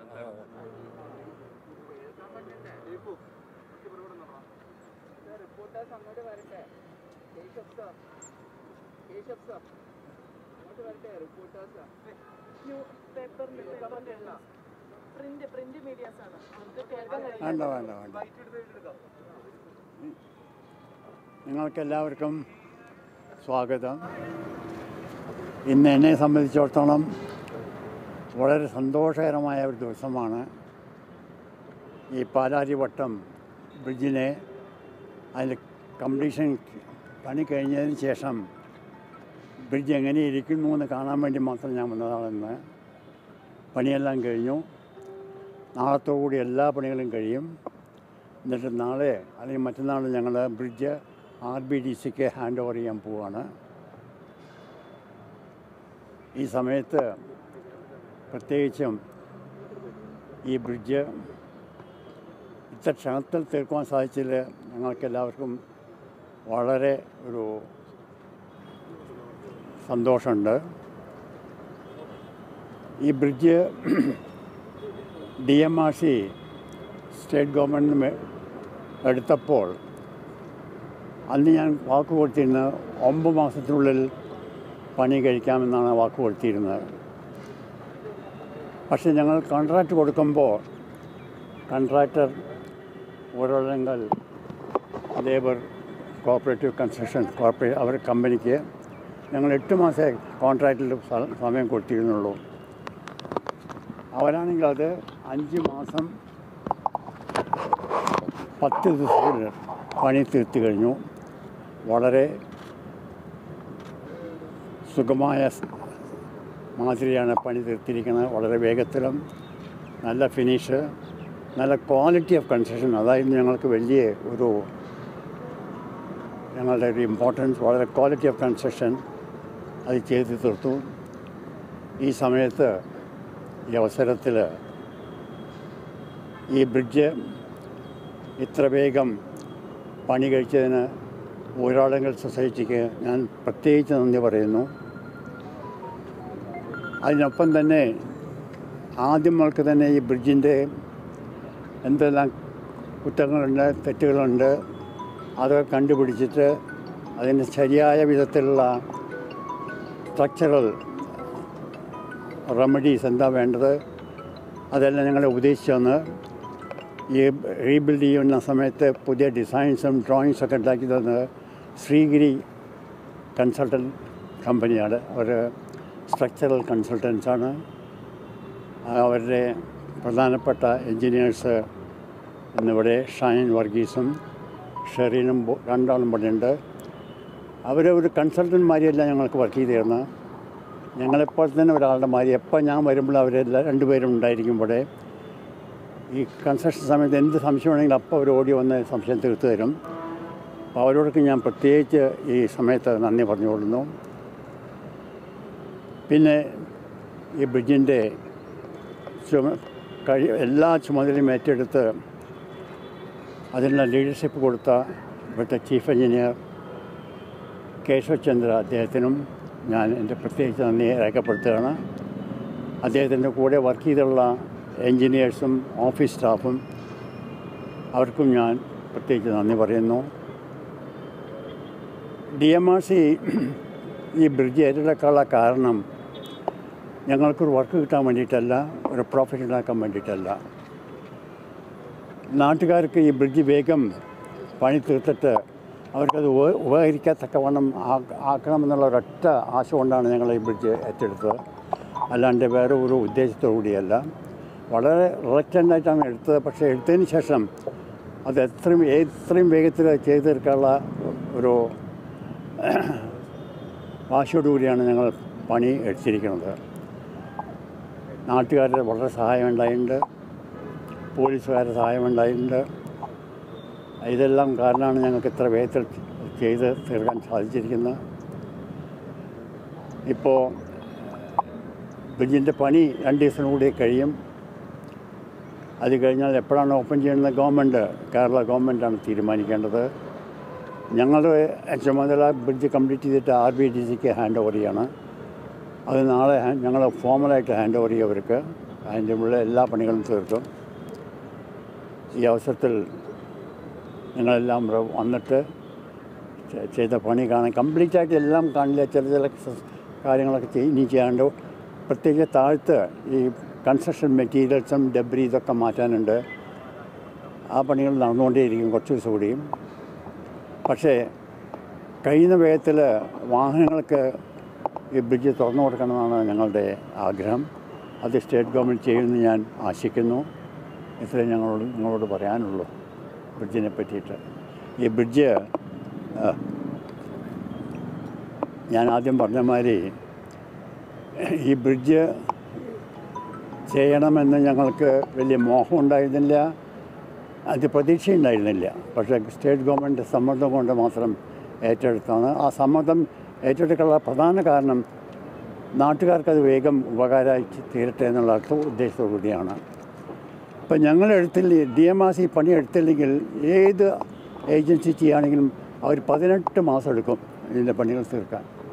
അതിൽ ഡിസൈൻ ഉണ്ടാക്കാനും ഫൈനലൈസ് ചെയ്യാനും ടെൻഡർ വിളിക്കാനും വർക്ക് സ്റ്റാർട്ട് ചെയ്യാനും ഞങ്ങൾക്കാണെങ്കിൽ വേഗത്തിൽ ചെയ്യാൻ സാധിച്ചു. കാരണം ആദ്യം മുതൽക്കേ ഇതിന്റെ എല്ലാ കേടുപാടുകളും ഞങ്ങൾക്ക് അറിയാം അതിനുള്ള പ്രതിവിധി എന്താണെന്ന് ഞങ്ങൾ വേഗം മനസ്സിലാക്കി. എന്നിട്ടാണ് ഈ ശ്രീഗിരി കൺസൾട്ടൻസിനെ ഞങ്ങൾ എൻഗേജ് ചെയ്തത്. എല്ലാ ഡിസൈനും ഡ്രോയിങ്സ് സർവേ ഉണ്ടാക്കി ടെൻഡർ ഞങ്ങൾ ലിമിറ്റഡ് ടെൻഡർ വിളിച്ചിട്ടാണ് ഓടാങ്കലിനെ ഇതിനു വേണ്ടി സെലക്ട് ചെയ്തത്. അവരുടെ വളരെ ഇത്ര നല്ല രീതിയിൽ ഒരു കോൺട്രാക്ടർ വർക്ക് ചെയ്യുന്ന ഞാൻ ആദ്യമായിട്ടാണ് കാണുന്നത്. ഓടാങ്കൽ അവരുടെ ലേബറേഴ്സും എൻജിനീയേഴ്സും അവരുടെ മാനേജ്മെന്റും വളരെ കൃത്യനിഷ്ഠയോടുകൂടിയാണ് ഈ പണി തീർത്തിരിക്കുന്നത് ഇത്രയും എനിക്ക് പറയാനുള്ളൂ. താങ്കളുടെ രാഷ്ട്രീയ പ്രവേശനവും സ്ഥാനാർത്ഥിത്വവും ഉൾപ്പെടെ ഇപ്പോൾ ചർച്ച ചെയ്തുകൊണ്ടിരിക്കുകയാണ് കേരളം. എങ്ങനെയാണ് അതിനെക്കുറിച്ചുള്ള എന്തെങ്കിലും ധാരണയായിട്ടുണ്ടോ? ഇവിടെ മത്സരിക്കും എന്നുള്ള ഇല്ല ഇല്ല ഇല്ല ഇല്ല. അത് അങ്ങനെ ഞാൻ പറഞ്ഞിട്ടില്ല. എനിക്ക് ഒരേ ഒരു കണ്ടീഷനെ ഞാൻ പറഞ്ഞിട്ടുള്ളൂ. ഞാൻ ഇപ്പോൾ താമസിക്കുന്ന പൊന്നാനിയാണ്. അവിടെ നിന്ന് വളരെ ദൂരെ വരുന്നത് മാത്രമേ പറഞ്ഞിട്ടുള്ളൂ. അതായത് ഏത് മണ്ഡലത്തിലാണെങ്കിൽ അതിന്റെ പരിസരത്ത് മത്സരിക്കാൻ തയ്യാറാണ്? അവരെ തീർച്ചയാക്കണം ഏത് മണ്ഡലത്തിലും ഞാൻ തീർച്ചയായിട്ടും. എന്നാൽ താങ്കളുടേതായിട്ടുള്ളൊരു ഇഷ്ടം ഉണ്ടാവില്ല? ഒരു താല്പര്യം പറഞ്ഞിട്ടില്ല. ഞാൻ ഒരേ ഒരു കണ്ടീഷൻ. അത് എന്റെ വീട്ടിൽ നിന്ന് വളരെ ദൂരാവരുത് വല്ല കൊല്ലത്തോ കായംകുളോ അവിടെ അവിടെ നിന്ന് പോയി അവരുടെ മാത്രമേ ഞാൻ പറഞ്ഞിട്ടുള്ളൂ. താങ്കൾ താങ്കൾ മത്സരിക്കുമ്പോൾ ഉണ്ടാകുന്ന ഒരു ഒരു വിജയ സാധ്യതയെ കുറിച്ച് എങ്ങനെയാണ് കാണുന്നത്? ബി ജെ പിയുടെ ഒരു സ്പേസ് വളരെ വിജയം വിജയം തീർച്ചയായിട്ടും ഞങ്ങൾ പ്രതീക്ഷിക്കുന്നുണ്ട്. വലിയൊരു വിജയം പ്രതീക്ഷിക്കുന്നുണ്ട്. അതുകൊണ്ടാണല്ലോ ഞാൻ ഈ പാർട്ടിയിൽ ചേരാൻ തന്നെ തീർച്ചയാക്കിയിരിക്കണം കേരളത്തിൽ താങ്കളുടെ സ്ഥാനാർത്ഥിത്വം പ്രഖ്യാപിച്ചതിന് ശേഷം ബി ജെ പിയിലേക്ക് വന്നതിന് ശേഷം പലതരത്തിലുള്ള വിമർശനങ്ങൾ താങ്കൾക്കെതിരെ ഉയർന്നതും കണ്ടു. അതൊക്കെ താങ്കൾ ശ്രദ്ധിക്കുന്നുണ്ടോ? അത്തരം കാര്യങ്ങൾ ഞാൻ രാഷ്ട്രീയത്തിൽ ഇറങ്ങിയപ്പോൾ തന്നെ അറിയാം. പലരും അതിനെ അഭിനന്ദിക്കും പലരും അതിനെ മുടക്കാൻ വേണ്ടിയിട്ട് വിമർശനങ്ങൾ ഉയ ഉയർത്തുന്നതൊക്കെ അറിയാം. രണ്ടിനും തയ്യാറായിട്ടാണ് ഞാൻ അതിന് വന്നിരിക്കുന്നത്. അതുകൊണ്ട് ഒരു വിഷമമില്ല അത് പ്രത്യേകിച്ച് ഞാൻ ഒരു ഭഗവത്ഗീത വായിക്കുന്ന ഒരു വ്യക്തിയാണ്.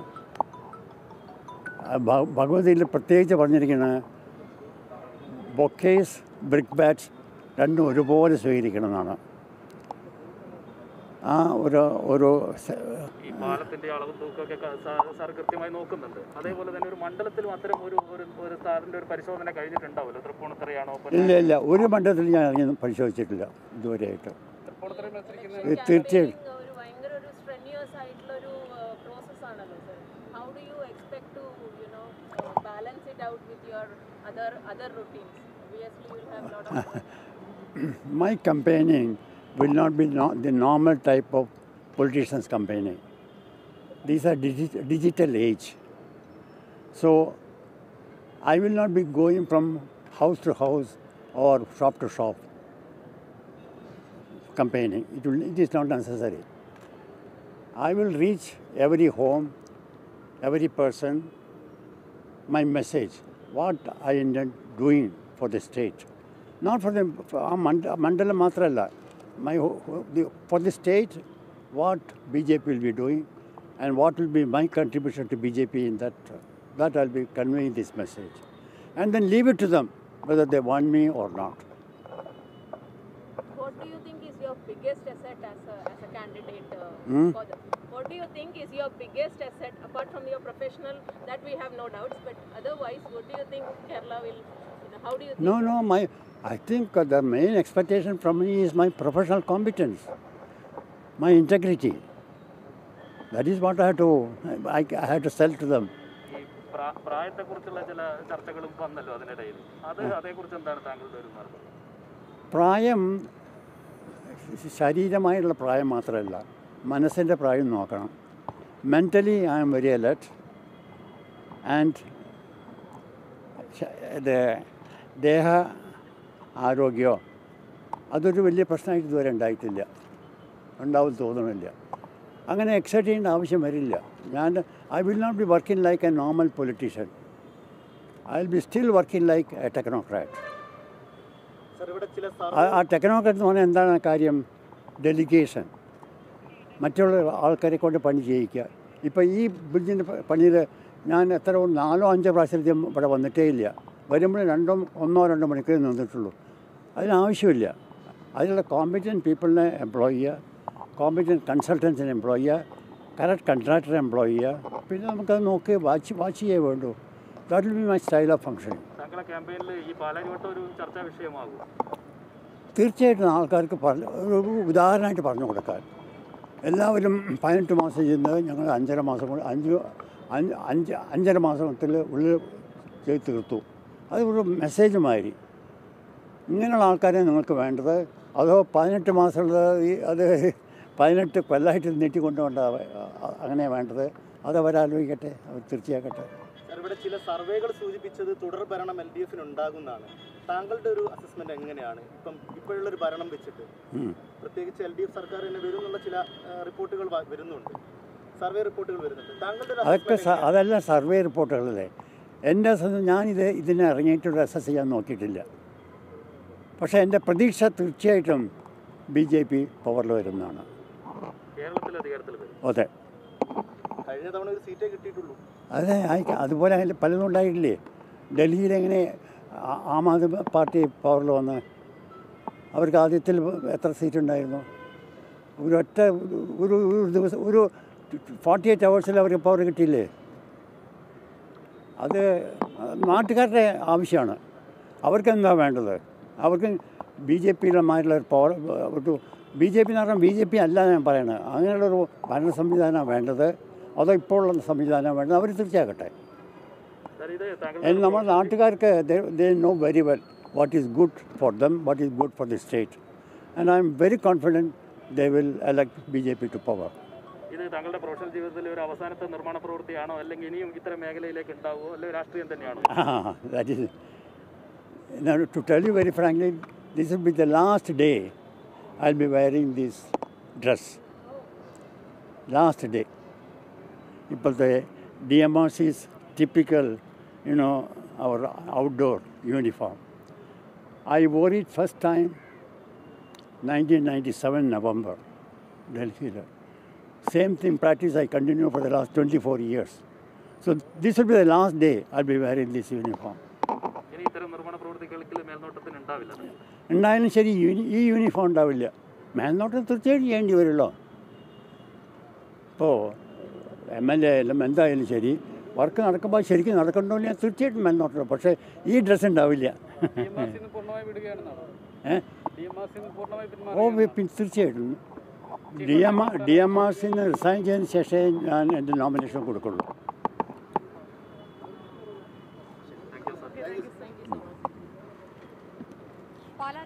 പാലത്തിന്റെ പുനർനിർമ്മാണത്തിൽ മുഖ്യ റോൾ വഹിച്ച ഡി എം ആർ സി മുഖ്യ ഉപദേഷ്ടാവ് ഇ ശ്രീധരൻ പാലത്തിന്റെ അവസാനവട്ട പരിശോധനകൾക്കായിട്ടാണ് എത്തിയത്.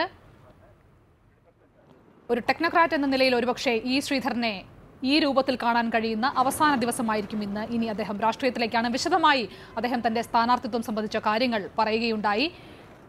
ഒപ്പം ഈ പണി വളരെ വേഗത്തിൽ ഒൻപത് മാസം കൊണ്ട് നിശ്ചയിച്ച ഈ ഒരു നിർമ്മാണ പ്രവൃത്തി അഞ്ചു മാസം കൊണ്ട് പൂർത്തിയാക്കാൻ കഴിഞ്ഞത് ഡി എം ആർ സിയുടെ ഒരു വലിയ നേട്ടമായി അദ്ദേഹം എടുത്തു പറയുന്നു. ഒപ്പം ഊരാളുങ്കൽ ലേബർ കൺസ്ട്രക്ഷൻ സൊസൈറ്റിയാണ് ഡി എം ആർ സിയുടെ നേതൃത്വത്തിൽ ഈ പണി ചെയ്തത്. അവർക്ക് നന്ദി പറഞ്ഞു. സർക്കാർ വളരെ വേഗം തന്നെ ഇത് ജനങ്ങൾക്ക് തുറന്നു കൊടുക്കുന്ന ഒരു നടപടികളിലേക്ക് കടക്കുമെന്ന് പ്രതീക്ഷിക്കുന്നതായും അദ്ദേഹം പറഞ്ഞു. അദ്ദേഹം തന്നെ പറയുന്ന പോലെ ഈ യൂണിഫോമിലുള്ള അവസാനത്തെ ദിവസമാണ് ഇന്ന് എന്ന് പറയുന്നു. എന്തായാലും നമുക്ക് കൂടുതൽ വാർത്തകൾ ഇനിയുമുണ്ട്. ഇടവേളയ്ക്ക് ശേഷം മടങ്ങിയെത്താം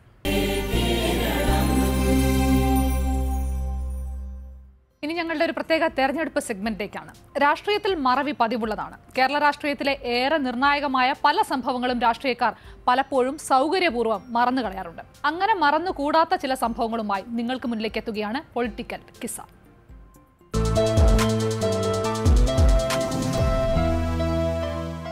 ഇന്നത്തെ കിസയിൽ ഒരു രാഷ്ട്രീയ കൊലപാതകത്തിന്റെ കഥയാണ്. ഇത് കേരളത്തെ ആകെ ഞെട്ടിച്ച ഒരു കൊലപാതകമാണ്. കാരണം ഇതാദ്യമായിട്ടാണ് കേരളത്തിൽ ഒരു എം എൽ എ തന്റെ രാഷ്ട്രീയ എതിരാളികളാൽ കൊല ചെയ്യപ്പെടുന്നു. അതും വെടിയേറ്റ് മരിക്കുന്നു. മരിച്ചയാളുടെ പേര് കരിക്കാടൻ കുഞ്ഞാലി അഥവാ സഖാവ് K Kunhali M L A. അന്ന് പ്രതിസ്ഥാനത്ത് വന്നത് ഇന്നത്തെ അറിയപ്പെടുന്ന കോൺഗ്രസ് നേതാവായ ആര്യാടൻ മുഹമ്മദ് ആയിരുന്നു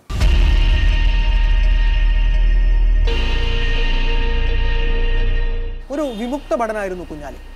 ആയിരത്തി തൊള്ളായിരത്തി നാൽപ്പത്തിരണ്ടിൽ പട്ടാളത്തിൽ ചേർന്ന് രണ്ടാം ലോക മഹായുദ്ധത്തിലൊക്കെ പങ്കെടുത്ത ശേഷം തിരിച്ചു വന്ന കുഞ്ഞാലി നിലമ്പൂരിലെ കാളികാവിൽ യൂണിയൻ പ്രവർത്തനത്തിലൊക്കെ സജീവമാവുന്നു. സി ഐ ടി യു പ്രവർത്തകനായി ദീർഘകാലം പ്രവർത്തിച്ച ശേഷം കുഞ്ഞാലി ആദ്യം കാളികാവ് ഗ്രാമപഞ്ചായത്തിന്റെ പ്രസിഡന്റ് ആവും. ആയിരത്തി തൊള്ളായിരത്തി അറുപത്തി അഞ്ചിൽ രാജ്യരക്ഷാ നിയമം ചുമത്തി ജയിലിൽ കിടന്നപ്പോഴും അറുപത്തിയേഴിൽ പുറത്തായിരുന്നപ്പോഴും രണ്ട് തവണ കുഞ്ഞാലി ആര്യാടൻ മുഹമ്മദിനെ മത്സരിച്ച് എം എൽ എ ആയി നിയമസഭയിലെത്തുന്നു. കുഞ്ഞാലിയുടെ മരണത്തിന് കാരണമായ വെടിവെപ്പ് നടക്കുന്നത് ആയിരത്തി തൊള്ളായിരത്തി അറുപത്തി ഏഴ് മെയ് ഇരുപത്തി ആറ് വെടിയേറ്റ് രണ്ട് ദിവസത്തിനകത്ത് ആശുപത്രിയിൽ വെച്ച് മരണപ്പെടുമ്പോൾ കുഞ്ഞാലിക്ക് വെറും നാൽപ്പത്തൊമ്പത് വയസ്സ് മാത്രമേ ഉണ്ടായിരുന്നുള്ളൂ. വെടിയേറ്റ കുഞ്ഞാലി കോൺസ്റ്റബിൾ കുഞ്ഞമ്മനായരോട് തന്നെ വെടിവെച്ചത് ആര്യാടൻ മുഹമ്മദാണ് എന്ന് പറയുന്നത് ആദ്യം കൊണ്ടുപോയ മഞ്ചേരി ആശുപത്രിയിലും അദ്ദേഹം ഇത് തന്നെ ആവർത്തിക്കും പക്ഷേ അവിടെ നിന്ന് കോഴിക്കോട് മെഡിക്കൽ കോളേജിൽ എത്തിച്ചപ്പോഴേക്കും ഡോക്ടർമാർ കുഞ്ഞാലിക്ക് സെഡേഷൻ കൊടുക്കുന്നു. പിന്നീട് മെഡിക്കൽ കോളേജിലേക്ക് മജിസ്ട്രേറ്റ് കുഞ്ഞാലിയുടെ മൊഴിയെടുക്കാൻ വേണ്ടി വന്നപ്പോൾ ഡോക്ടർ പറഞ്ഞത് കുഞ്ഞാലിക്ക് ഇപ്പോൾ മൊഴി കൊടുക്കാനുള്ള ആരോഗ്യമില്ല എന്നായിരുന്നു. കേസ് കോടതിയിലെത്തിയപ്പോൾ മെഡിക്കൽ കോളേജിലെ ഡോക്ടറുടെ ഈ മൊഴിയുടെ പുറത്ത് ആരുടെ മുമ്പ് നടക്കുന്ന പ്രതികളെ കോടതി വെറുതെ വിടുന്നു. ഏതൊരു സംഭവത്തിനും എന്ന പോലെ ഇതിനുമുണ്ട് രണ്ട് വേർഷൻ. ഒന്ന് ആര്യാടന്റെ ഭാഗം പറയുന്ന കോൺഗ്രസ് വെർഷൻ രണ്ട് കമ്മ്യൂണിസ്റ്റ് വെർഷൻ.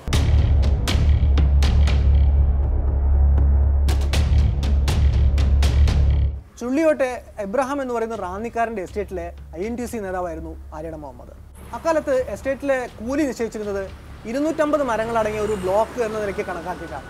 അതൊരു ദിവസം മുതലാളി മുന്നൂറ് മരങ്ങൾ ഒരു ബ്ലോക്കിന് നിശ്ചയിച്ചതോടെ അത് ഫലത്തിൽ പണി കൂട്ടുന്നതിന് അതായത് കൂലി കുറയ്ക്കുന്നതിന് തുല്യമായിരുന്നു. അതുകൊണ്ട് എസ്റ്റേറ്റിലെ ഐ എൻ ടി സി തൊഴിലാളികളെല്ലാം സമരത്തിനിറങ്ങും അപ്പോൾ ഈ സമരം പുരോഗമിക്കുന്നതിനിടയ്ക്ക് മുതലാളി ഐ എൻ ടി സിക്കാരിൽപ്പെട്ട പത്തൊമ്പത് പേരെ പിരിച്ചുവിടും. ഈ പത്തൊമ്പത് പേർക്ക് പകരം സി ഐ ടിക്കാരായ പത്തൊമ്പത് പേരെ ജോലിക്കെടുക്കും ഇങ്ങനെ കുഞ്ഞാലി വഴിക്ക് ജോലിക്ക് കയറിയ പത്തൊമ്പത് തൊഴിലാളികളും ആഴ്ചകൾക്കുള്ളിൽ തന്നെ ആര്യാടൻ യൂണിയനിൽ ചേരുന്നു. ഇതിനെ തുടർന്നാണ് പ്രദേശത്ത് സംഘർഷം ഉണ്ടാകുന്നതും അതിനു പിന്നാലെയാണ് കുഞ്ഞാലിയുടെ മരണത്തിന് കാരണമായ വെടിവെപ്പ് ഉണ്ടാകുന്നത് ഈ സംഭവം നടക്കുന്നത് ചുള്ളിയോട്ടുള്ള ഐ എൻ ടി സി ഓഫീസിന്റെ കോണിപ്പടിക്കൽ വെച്ചാണ്. ഈ കോണിപ്പടിയിലൂടെ കുഞ്ഞാലിയും സംഘവും മേലോട്ട് ഇരച്ചു കയറാൻ ശ്രമിക്കുന്നതിനിടയിലാണ് വെടിവെപ്പുണ്ടായതെന്നും കുഞ്ഞാലി മരിച്ചതെന്നുമാണ് ആര്യാടൻ പറയുന്നത്. നിലമ്പൂരിൽ നാട്ടിൽ ഭൂമിയില്ലാത്ത പാവങ്ങൾക്ക് കോവിലകം വക വനഭൂമി വളഞ്ഞു പിടിച്ച് കൊടുക്കുന്നതിലൊക്കെ കുഞ്ഞാലി കാര്യമായിട്ടുള്ള പങ്ക് വഹിച്ചിട്ടുണ്ട്. ഈ പ്രവർത്തനങ്ങളാണ് കുഞ്ഞാലിയെ നാട്ടിൽ ജനപ്രിയനാക്കുന്നത്. ഇങ്ങനെയുള്ള കുഞ്ഞാലി തെരഞ്ഞെടുപ്പിൽ തുടർച്ചയായി രണ്ടു വട്ടം തന്നെ തോൽപ്പിച്ചതാണ് ആര്യാടന് കുഞ്ഞാലിയോടുള്ള വൈരത്തിന് കാരണമെന്നാണ് പ്രാദേശിക സി നേതാക്കൾ പറയുന്നത്. അതുകൊണ്ടാണ് ആര്യാടൻ വളരെ ആസൂത്രണം ചെയ്ത് ഒരു വെടിവെപ്പുകാരനെ കൊണ്ടുവന്ന് ഇരുളിന്റെ മറവിൽ ഒളിഞ്ഞിരുന്ന് കുഞ്ഞാലിയെ വെടിവെച്ച് കൊന്നതെന്നാണ് അവരുടെ വാദം. ഈ വെടിവെച്ച ആളിന്റെ പേര് പത്തായത്തിങ്കൽ ഗോപാലൻ എന്നാണ് എന്ന് പിന്നീട് തെളിയുന്നുണ്ട്. ഗോപാലന്റെ ട്രാക്ടറിൽ കുഞ്ഞാലിയുടെ ജീപ്പ് വന്നിടിക്കുകയും തുടർന്നുണ്ടായ സംഘർഷത്തിൽ കുഞ്ഞാലി ഗോപാലനെ അടിക്കുകയും ചെയ്തിരുന്നു. ഈ മർദ്ദനത്തിലുള്ള വിരോധം കൊണ്ടാണ് ഗോപാലൻ കുഞ്ഞാലിയെ വെടിവെച്ച് കൊന്നത് എന്നൊരു തിയറിയും. അതല്ല കോൺഗ്രസിന്റെ കണ്ണിലെ കരടായിരുന്ന കുഞ്ഞാലിയെ തീർക്കാൻ വേണ്ടി ഗോപാലിനെ കൊട്ടേഷൻ കൊടുത്ത് കൊണ്ടുവന്നതാണ് എന്ന് മറ്റൊരു തിയറിയും അവിടെ പ്രചാരത്തിലുണ്ട്. എന്തായാലും കുഞ്ഞാലി കൊല്ലപ്പെട്ടതിന് തൊട്ടു പിന്നാലെ നിലമ്പൂർ ടൗണിൽ വെച്ച് നടന്ന ഒരു പ്രതിഷേധ യോഗത്തിൽ വെച്ച് ഇ എം എസ് അന്ന് പറഞ്ഞത് കുഞ്ഞാലിയുടെ ഘാതകരെ ബൂർഷ കോടതി വെറുതെ വിട്ടാലും ജനകീയ കോടതി വെറുതെ വിടില്ല എന്നായിരുന്നു.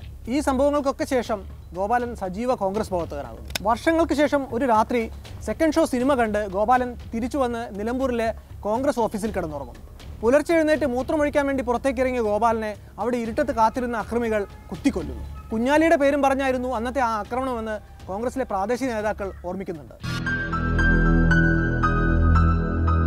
ഏറനാട്ടെ കമ്മ്യൂണിസ്റ്റ് പ്രസ്ഥാനങ്ങൾക്ക് ശക്തി പകരാൻ വേണ്ടി ഏറെക്കാലം പ്രയത്നിച്ച് ഒടുവിൽ അതിനുവേണ്ടി തന്നെ രക്തസാക്ഷിയായ ഒരാളാണ് സഖാവ് കുഞ്ഞാലി.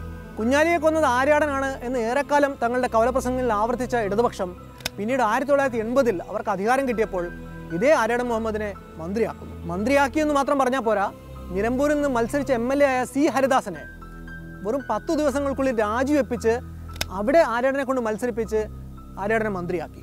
ആര്യാടൻ ഉപതെരഞ്ഞെടുപ്പിൽ മത്സരിച്ച കാലത്ത് കഴിഞ്ഞ തെരഞ്ഞെടുപ്പിൽ തങ്ങൾ ആര്യാടനെ കൊലപാതകി എന്ന് വിളിച്ചത് തെറ്റിദ്ധാരണപ്പുറത്താണെന്നും ഇത്തവണ ആര്യാടന് വോട്ട് ചെയ്യണമെന്നുമൊക്കെ ഇ എം എസ് തന്നെ വീണ്ടും നിലമ്പൂരിലെ ജനങ്ങളോട് പറയുന്നുണ്ട്. പ്രായോഗിക രാഷ്ട്രീയത്തിന്റെ നീതിബോധം പലപ്പോഴും പൊതുജനത്തിന്റെ സാമാന്യ യുക്തിക്ക് അത്ര എളുപ്പം വഴങ്ങിത്തരുന്ന ഒന്നല്ല എന്ന് ഒരിക്കൽ കൂടി നമ്മൾ ഓർമ്മിപ്പിക്കുന്ന ഒരു സംഭവമാണ് സഖാവ് കുഞ്ഞാലി വധം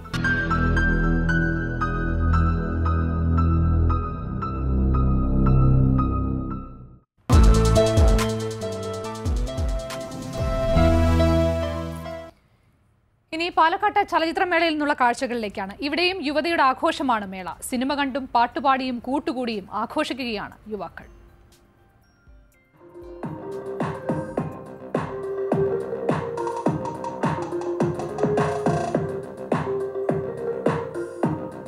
കേരളത്തിലെ ഇത് തിരുവനന്തപുരം മാത്രമായി മാറിക്കൊണ്ടിരിക്കുകയായിരുന്നു അപ്പോൾ ഇത് ഇവിടെയും നടത്താമെന്ന് ഉള്ള ഒരു തെളിവ് കൂടെയാണ് ഈ പാലക്കാട് ഐ എഫ് സ്വന്തം നാട്ടിൽ വന്ന് കാണാൻ പറ്റുന്ന ഒരു അപ്പോൾ അതിലിത്തിരി അഭിമാനം. സ്വന്തം വേവ് ലെങ്ത്തിലുള്ള ഒരുപാട് ആളുകൾ വന്ന് പരിചയപ്പെടാൻ സാധിച്ചു. അതന്നെ വലിയൊരു കാര്യമാണ്. ഇപ്പോൾ കൂട്ടായ്മകൾ ഒരുപാടുണ്ടായിരുന്നു കേട്ടോ. അതാണ് ഏറ്റവും വലിയ അഡ്വാന്റേജ് ഇതിന്റെ ആദ്യത്തെ എഫ് എഫ് കെ ആണ്. അപ്പോൾ നല്ലൊരു എക്സ്പീരിയൻസ് ആണ്. ഒരുപാട് നല്ല നല്ല സിനിമകൾ കാണാൻ പറ്റി. ഒരുപാട് നല്ല മനുഷ്യരെ പരിചയപ്പെടാൻ പറ്റി. ഇവിടെ കണ്ടതിലിപ്പോൾ ഇതുവരെ ഉള്ളതിൽ എനിക്ക് നല്ല ഫിലിമായിട്ട് തോന്നിയത് the man who sold his skin എന്നുള്ള മൂവിയാണ് എനിക്ക് നല്ലതായിട്ട് തോന്നിയത്. ആ സിനിമാ ഭ്രാന്തനാണ്. യാത്ര പോകുന്നു സിനിമയെല്ലാം കാണും. എല്ലാ ഫെസ്റ്റിവലും പങ്കെടുക്കും. നടക്കുന്നു. പാലക്കാട് ഒന്നാമത് ഇങ്ങനെ ഫിലിമിനുള്ള ഒരു നല്ല സിനിമകൾക്കുള്ള ഒരു ക്രൗഡ് ഉണ്ടെന്ന് തെളിയിക്കപ്പെട്ടു. കാരണം എല്ലാ മലയാള സിനിമകൾക്കും അല്ലെങ്കിൽ സിനിമക്കെല്ലാം റിസർവേഷൻ ഫുള്ളായിരുന്നു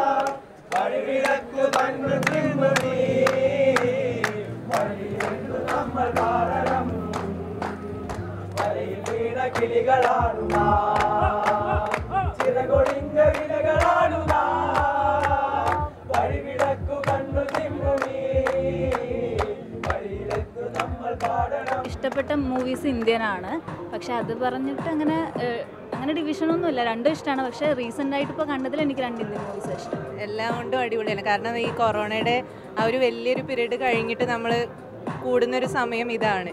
അതിന് മുന്നേ ഒന്നും അങ്ങനെ ഉണ്ടായിട്ടില്ല. അതുകൊണ്ട് ഇതിനൊരു ഒരു ഡബിൾ പ്ലഷർ ഉണ്ട്. കറികൾക്ക് ഉപ്പില്ലാതെ ഒന്നും നടക്കില്ല എന്ന് നമ്മൾ പറയില്ലേ? അതുപോലെ തന്നെയാണ്. അത്രയും മനോഹരമായിരുന്നു. കൂട്ടുകൂടലും കൂട്ടുകൂടിയിട്ടുള്ള സിനിമകളിലും ഒരുപാട് ഇഷ്ടപ്പെട്ടു. തിരുവനന്തപുരം ഇതിനു മുമ്പ് ഇതിന്റെ വേദിയായി. പിന്നെ അങ്ങനെ വാർത്തകളിലൊക്കെ കണ്ടിട്ടില്ല. അല്ലാതെ എന്റെ കൂട്ടുകാരൊക്കെ പോയിട്ടുണ്ട്. അപ്പോൾ അതുവഴി ഇങ്ങനെ കേട്ട് പരിചയമില്ലാതെ ആദ്യമായിട്ടാണ് ഇത് അനുഭവിക്കുന്നത്.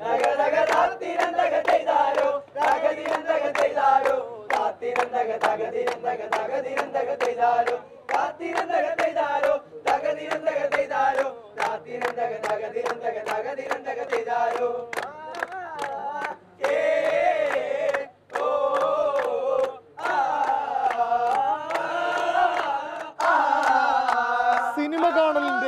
കൂട്ടുകൂടലിന്റെ ഈ പാലക്കാടൻ ആഘോഷരാവിൽ നിന്ന് ക്യാമറമാൻ ഷിജു അലക്സിനൊപ്പം Anjuraj Asianet news.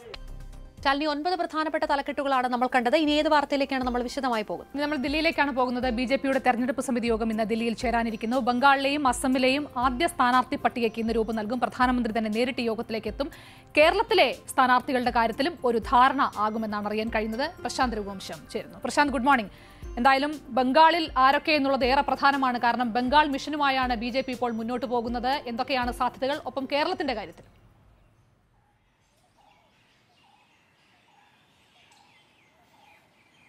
Shalini good morning. ഞാനിപ്പോൾ ബംഗാൾ ഭവന് മുന്നിലാണ് ഇപ്പോൾ ഉള്ളത്. എന്തായാലും ചില നേതാക്കളൊക്കെ ഇവിടെ എത്തിച്ചേർന്നിട്ടുണ്ട്. ഇന്ന് ബി ജെ പിയുടെ നിർണായകമായ യോഗം ചേരാനിരിക്കുകയാണ്. സ്ഥാനാർത്ഥികളെ തീരുമാനിക്കാനുള്ള യോഗമാണ് ഇന്ന് ചേരാനിരിക്കുന്നത്. പശ്ചിമബംഗാളിൽ ഇരുന്നൂറ്റി തൊണ്ണൂറ്റിനാല് സീറ്റാണ് ആകെയുള്ളത്. അതിൽ ആദ്യ രണ്ട് ഘട്ടങ്ങളിൽ തെരഞ്ഞെടുപ്പിലേക്ക് പോകുന്നത് അറുപത് സീറ്റുകളാണ്.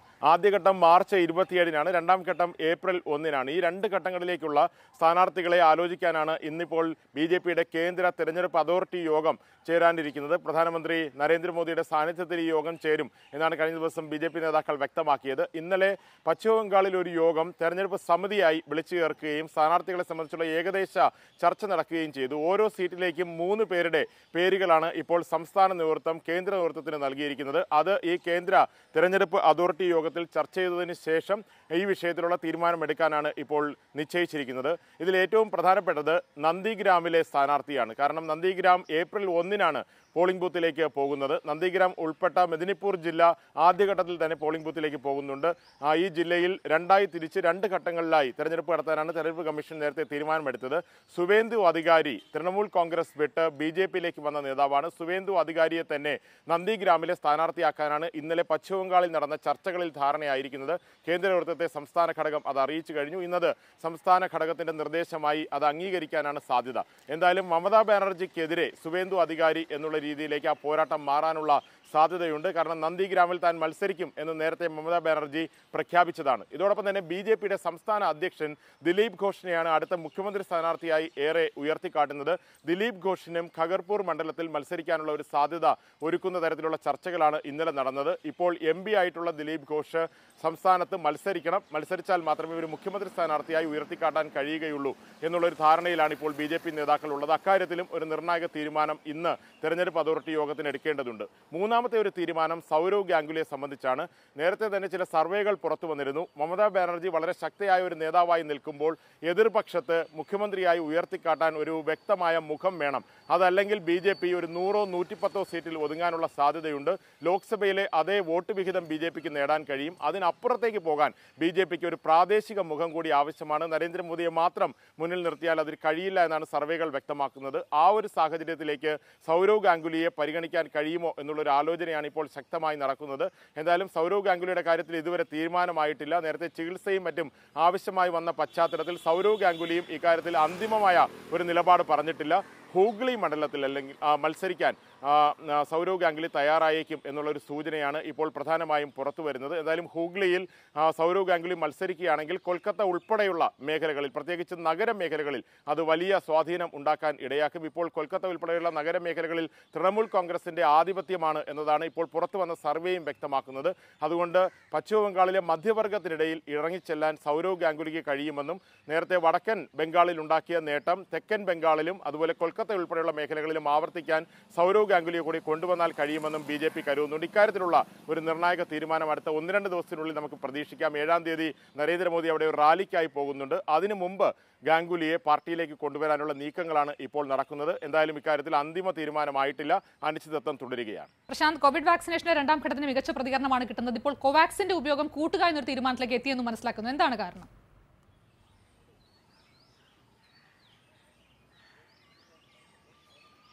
ശാലിനി ഇന്നലെ ഒരു പഠനം പുറത്തു വന്നിരുന്നു. ഈ പഠനത്തിന്റെ അടിസ്ഥാനത്തിൽ ഇപ്പോൾ കോവാക്സിൻ ഉപയോഗം കൂട്ടാനുള്ള ഒരു ആലോചനയാണ് കേന്ദ്ര സർക്കാരിന്റെ ഭാഗത്ത് നിന്ന് കാണുന്നത്. നമുക്കറിയാവുന്നതുപോലെ കോവിഷീൽഡ് കോവാക്സിൻ ഈ രണ്ട് മരുന്നുകൾക്ക് ഒന്നിച്ചാണ് കേന്ദ്ര സർക്കാർ നേരത്തെ അനുമതി നൽകിയത്. അടിയന്തര ഉപയോഗത്തിനുള്ള അനുമതിയായിരുന്നു നൽകിയത്. പക്ഷേ പലയിടത്തും കോവാക്സിൻ കുത്തിവെക്കില്ല എന്നുള്ളൊരു നിലപാടിലേക്ക് ആരോഗ്യ പ്രവർത്തകർ പോലും എത്തുന്ന ഒരു കാഴ്ചയാണ് കണ്ടത്. ദില്ലിയിൽ ആർ എം എൽ ആശുപത്രിയിൽ ആദ്യ ദിവസം തന്നെ ഡോക്ടർമാർ പ്രതിഷേധിക്കുന്ന കാഴ്ച നമ്മൾ റിപ്പോർട്ട് ചെയ്തിരുന്നു.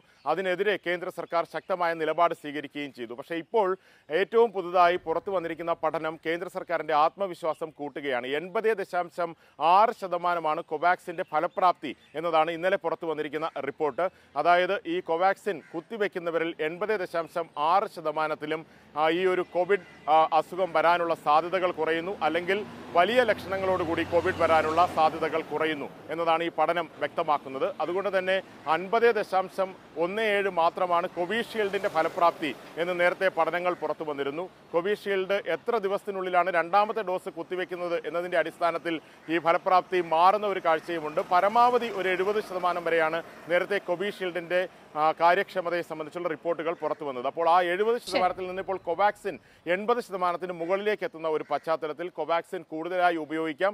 ഈ റിപ്പോർട്ടുകൾ ആളുകളുടെ ആത്മവിശ്വാസം കൂട്ടുമെന്ന് കേന്ദ്ര സർക്കാർ പ്രതീക്ഷിക്കുന്നു. കഴിഞ്ഞ ദിവസം പ്രധാനമന്ത്രി നരേന്ദ്രമോദിയും ഭാരത് ബയോടെക്കിന്റെ കോവാക്സിനാണ് സ്വീകരിച്ചത്. അതുകൊണ്ട് കൂടുതൽ സെന്ററുകളിലേക്ക് കോവാക്സിൻ എത്താനുള്ള സാധ്യതയിലേക്കാണ് കാര്യങ്ങൾ പോകുന്നത്. പ്രശാന്ത് ഹാത്രസിൽ മലയാളി സിദ്ദിഖ് സിദ്ദിഖാപ്പന്റെ ശബ്ദ സാമ്പിളുകളും അതുപോലെ കൈയക്ഷരത്തിന്റെ സാമ്പിളുകളും ഒക്കെ ശേഖരിക്കാൻ യു പോലീസ് ഒരു അനുമതി തേടിയതായി മനസ്സിലാക്കുന്നു. എന്താണ് ഈ നീക്കത്തിന് പിന്നിൽ?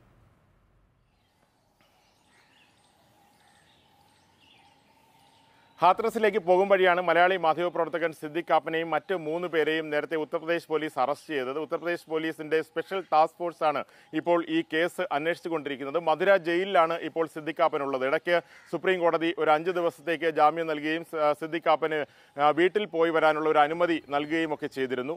ഇപ്പോൾ പുതിയൊരു അപേക്ഷയാണ് യു പി പോലീസ് കോടതിയിൽ നൽകിയിരിക്കുന്നത്. മധുര കോടതിയിലാണ് ഈ അപേക്ഷ നൽകിയിരിക്കുന്നത്. അതിൽ വ്യക്തമാക്കിയിരിക്കുന്നത് സിദ്ദിഖാപ്പൻ അറസ്റ്റിലാകുമ്പോൾ മറ്റ് മൂന്ന് പേരുടെയും സിദ്ദിഖാപ്പന്റെയും കയ്യിൽ നിന്ന് ആകെ ആറ് മൊബൈൽ ഫോണുകൾ കണ്ടെടുത്തിരുന്നു.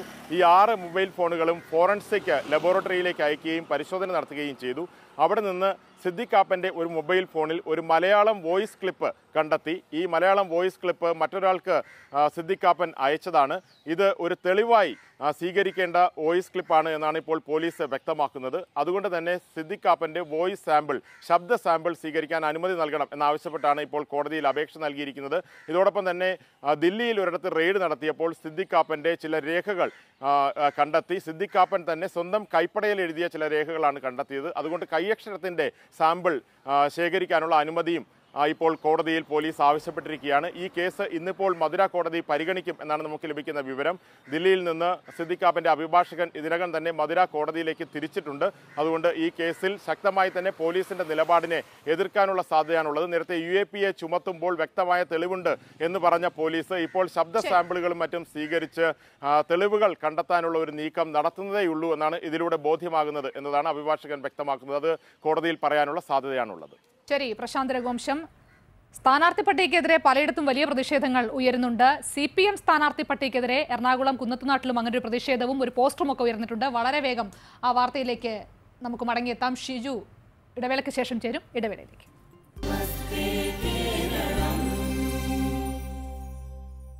എറണാകുളം കുന്നത്തുനാട്ടിലെ സി പി എം സ്ഥാനാർത്ഥി പട്ടികയ്ക്കെതിരെ ചില പ്രാദേശിക പ്രതിഷേധങ്ങൾ ഉയർന്നിരിക്കുന്നു. അവിടെ ഒരു പോസ്റ്റർ പ്രത്യക്ഷപ്പെട്ടു. അതിൽ ഈ കുന്നത്തുനാട്ടിലെ സീറ്റ് മുപ്പത് കോടി രൂപയ്ക്ക് വിറ്റുവെന്നാണ് ആരോപണം ഉയർത്തിയിരിക്കുന്നത്. സ്ഥാനാർത്ഥി പട്ടിക പുനഃപരിശോധിക്കണമെന്നും ആവശ്യപ്പെട്ടിട്ടുണ്ട്. വിശദാംശങ്ങളുമായി ഷിജുവാണ് ചേരുന്നത്. ഷിജു ആരായിരിക്കും ഈ പോസ്റ്ററിന് പിന്നിലെന്നാണ് സി ഒരു വിലയിരുത്തൽ?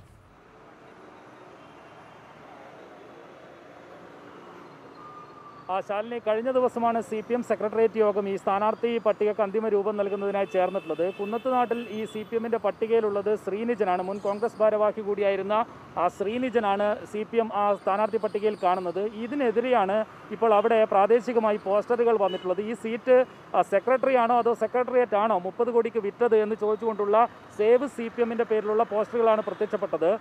അവിടെ നിലവിൽ കോൺഗ്രസിലെ സിറ്റിംഗ് എം എൽ എ സജീന്ദ്രനാണ് മത്സരിക്കുന്നത്. പക്ഷേ സി പി എം പറയുന്നത് ഇങ്ങനെയൊരു പോസ്റ്ററിന് പിന്നിൽ ഏതെങ്കിലും തരത്തിലുള്ള സി പി എം പ്രാദേശിക പ്രവർത്തകർക്ക് യാതൊരു പങ്കുമില്ല. അതിന് പിന്നിൽ സ്ഥലത്തെ കോൺഗ്രസ് എം എൽ എ തന്നെയാണെന്നാണ് സി പി എമ്മിന്റെ ഏരിയ സെക്രട്ടറി അടക്കമുള്ളവർ വിശദീകരിക്കുന്നത്. മാത്രമല്ല അങ്ങനെ പോസ്റ്റർ പതിക്കുന്നതിന്റെ സി സി ടി വി ദൃശ്യങ്ങളടക്കം ഉചിതമായ സമയത്ത് തങ്ങൾ പുറത്തുവിടുമെന്ന് സി പി എമ്മും തിരിച്ചടിച്ചിട്ടുണ്ട്. പക്ഷേ പ്രാദേശികമായി ശ്രീനിജൻ ഇങ്ങനെ ഈ സീറ്റിൽ മത്സരരംഗത്തേക്ക് വരുന്നതിൽ സി പി എമ്മിനകത്ത് ഒരു വിഭാഗത്തിന് ശക്തമായ എതിർപ്പുണ്ട്. പ്രത്യേകിച്ച് അവിടെ നിരവധി പാർട്ടി പ്രവർത്തകർ മുൻകാലങ്ങളിൽ പ്രവർത്തിച്ച് പരിചയമുള്ള നിരവധി പേരുണ്ട്.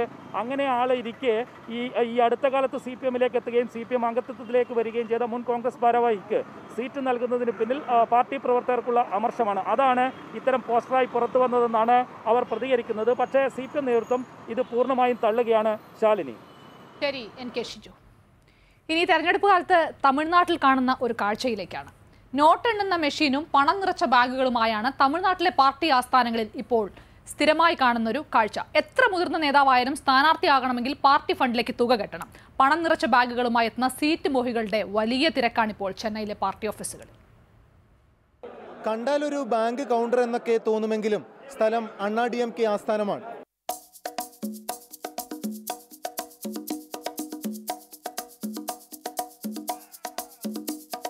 പാർട്ടി ഫണ്ടിലേക്ക് തുകയടയ്ക്കാൻ കാത്തു നിൽക്കുന്നവരുടെ നീണ്ട നിര കുറഞ്ഞത് പതിനയ്യായിരം രൂപയെങ്കിലും ഫീസായി അടച്ചാൽ മാത്രമേ സ്ഥാനാർത്ഥിയാകാൻ അപേക്ഷ സ്വീകരിക്കൂ. നോട്ടെണ്ണൽ മെഷീനുമായിരിക്കുന്ന പാർട്ടി ഭാരവാഹികളാണ് സ്ഥാനാർത്ഥികളിൽ നിന്ന് പണം വാങ്ങുന്നത്. രണ്ടായിരത്തി പതിനാറിൽ പന്ത്രണ്ടായിരത്തി മുന്നൂറ്റി നാൽപ്പത്തഞ്ച് പേരാണ് അണ്ണാ ഡി എം കെക്ക് അപേക്ഷ നൽകിയത്. പാർട്ടി ഫണ്ടിലേക്ക് ലഭിച്ചത് രണ്ട് കോടിയോളം രൂപ. ஃபிஃப்டீன் தௌசண்ட் பார்ட்டி ஃபீஸ் கட்டியிருக்காங்க நான் ரொம்ப விருப்பப்பட்டு தான் வந்திருக்கேன் பணம் எங்கே பணம் இல்லை ஓ மக்கள் செல்வாக்கு தான் இப்போது எடப்பாடியார் பார்த்தீங்கன்னா பொங்கலுக்கு நிறைய ஏழைகளுக்கு இப்போ ரெண்டாயிரத்து ஐநூறுரூவா உதவியிருக்காங்க கொரோனா டைமில் நல்லா செஞ்சுருக்காங்க அதுக்கப்புறம் ஏழை பிள்ளைங்க படித்து முடிச்ச உடனே ஐம்பதாயிரம் பணம் அது இல்லாமல் தாலிக்கு தங்கம் எந்த ஸ்டேட்லேயுமே இது வரைக்கும் கொடுத்ததில்ல ഇരുപതിനായിരം രൂപ വീതമാണ് സ്ഥാനാർത്ഥികളിൽ നിന്ന് ഡി എം കെ ഫണ്ടിലേക്ക് ഈടാക്കുന്നത്. സാധാരണ സീറ്റ് മോഹികൾ മാത്രമല്ല മുഖ്യമന്ത്രി എടപ്പാടി പളനിസ്വാമിയും ഒ പനീർസെൽവവും ഡി എം കെ അധ്യക്ഷൻ എം കെ സ്റ്റാലിനുമെല്ലാം ഇങ്ങനെ പണം കെട്ടി സ്വന്തം പാർട്ടിക്ക് അപേക്ഷ നൽകിയാണ് സ്ഥാനാർത്ഥികളാകുന്നത്. സ്ഥാനാർത്ഥികളെ പിന്നീട് അഭിമുഖം നടത്തി തെരഞ്ഞെടുക്കും. അത് നമ്മൾ കക്ഷി നിധിക്കാകെ കൊടുത്തിരിക്കുന്നത്. കക്ഷിയുടെ നിധി.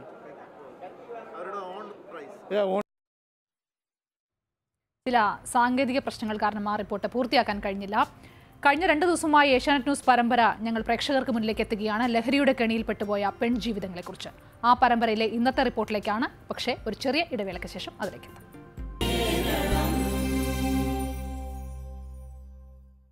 ലോക്ഡൌൺ കാലത്ത് ലഹരി മരുന്നുകൾ അതിർത്തി കടത്താൻ പുതിയ വഴികൾ തേടുകയാണ് ലഹരി കടത്ത് സംഘങ്ങൾ. കൊറിയർ സർവീസുകളാണ് ലഹരി കടത്താൻ ഉപയോഗിക്കുന്ന പ്രധാന മാർഗമെന്ന് എക്സൈസ് പറയുന്നു. സ്ത്രീകൾ താമസിക്കുന്ന ഹോസ്റ്റലുകളിലേക്കും ഷോർട്ട് സ്റ്റേ ഹോമുകളിലേക്കും ഇത്തരത്തിൽ ലഹരി എത്തുന്നതായും അന്വേഷണ ഉദ്യോഗസ്ഥർ പറയുന്നു. ഏഷ്യാനെറ്റ് ന്യൂസ് പരമ്പരയിലേക്ക്.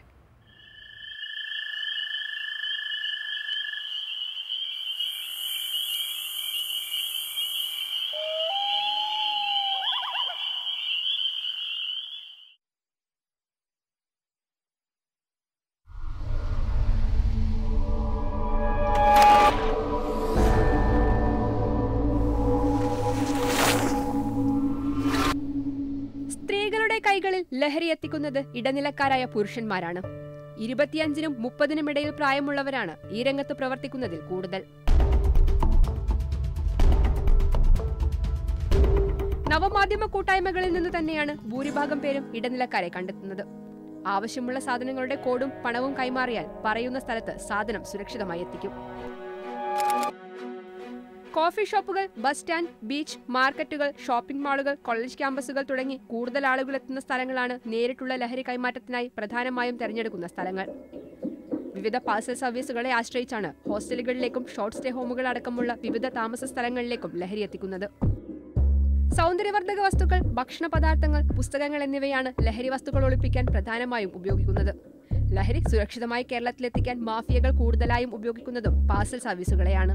വിവിധ ലഹരി ഉൽപ്പന്നങ്ങൾ മുതൽ ശസ്ത്രക്രിയയ്ക്കായി ആളുകളെ മയക്കാൻ ഉപയോഗിക്കുന്ന മരുന്നുകൾ വരെ പാസൽ മാർഗം സുഗമമായി അതിർത്തി കടന്നെത്തുന്നുണ്ട്. അപ്പോൾ മുമ്പ് സ്റ്റേറ്റിന്റെ അതിർത്തി ജില്ലകളിൽ നിന്നും ചെറിയ തോതിൽ ചെറിയ ക്വാണ്ടിറ്റിയിൽ കേരളത്തിലേക്ക് കടത്തിക്കൊണ്ടുവന്ന ആ ശീലം മാറിയിട്ട് ഈ കടത്തുന്ന വസ്തുക്കളുടെ ക്വാണ്ടിറ്റി കൂട്ടി ലാർജ് ക്വാണ്ടിറ്റി കടത്താനുള്ള ഒരു ഒരു രീതിയാണ് ഇപ്പോൾ കോവിഡ് പ്രമാണിച്ച് അവർ നിലനിർത്തുന്നത്. തമിഴ്നാട്ടിലെ ഗോഡൌണുകളിൽ നിന്നാണ് കേരളത്തിലെ ലഹരി വിൽപ്പനക്കാർ വൻതോതിൽ കഞ്ചാവ് ശേഖരിക്കുന്നത്. M D M A L S D nitrazepam തുടങ്ങിയവ ഇവയുടെ പ്രധാന ഉൽപാദന കേന്ദ്രങ്ങളായ ഗോവ മുംബൈ ബംഗളൂരു എന്നിവിടങ്ങളിൽ നിന്നാണ് കേരളത്തിലേക്ക് എത്തുന്നത്. ഇത്തരം ലഹരി വസ്തുക്കൾ കടത്താൻ കേരളത്തിന് പുറത്തു പഠിക്കുന്ന മലയാളി പെൺകുട്ടികളെ കാര്യർമാരാക്കുന്ന സംഘങ്ങളും സജീവം. പെൺകുട്ടികളുമായി അടുപ്പമുള്ള ചെറുപ്പക്കാരുടെ സഹായത്തോടെയാണ് ലഹരി മാഫിയ പെൺകുട്ടികളെ സമീപിക്കുന്നത്. നാട്ടിലേക്ക് വരുമ്പോൾ ലഗേജിനൊപ്പം ലഹരി കടത്താൻ തയ്യാറായാൽ യാത്രാ ചെലവും ലഹരി മാഫിയ വഹിക്കും. ചെറിയ തുക പോക്കറ്റ് മണിയായും നൽകും. മലപ്പുറം കൽപ്പകഞ്ചേരിയിൽ പതിനാല് വയസ്സുകാരിയെ ലഹരി മരുന്ന് നൽകി പീഡിപ്പിച്ച സംഭവം നടന്നത് ഏതാനും ദിവസങ്ങൾക്ക് മുൻപാണ്. ഇൻസ്റ്റഗ്രാമിലൂടെ പരിചയപ്പെട്ട യുവാവും സുഹൃത്തുക്കളുമായിരുന്നു സംഭവത്തിന് പിന്നിൽ. പെൺകുട്ടികൾ പലപ്പോഴും ലഹരിയുടെ കെണിയിൽ വീണു പോകുന്നത് ഇത്തരം സൗഹൃദങ്ങളിലൂടെയാണ്. അത് അവരുടെ ജീവിതം തകർത്തെറിയുന്നതുവരെ രക്ഷിതാക്കളോ ബന്ധുക്കളോ തിരിച്ചറിയാറുമില്ല.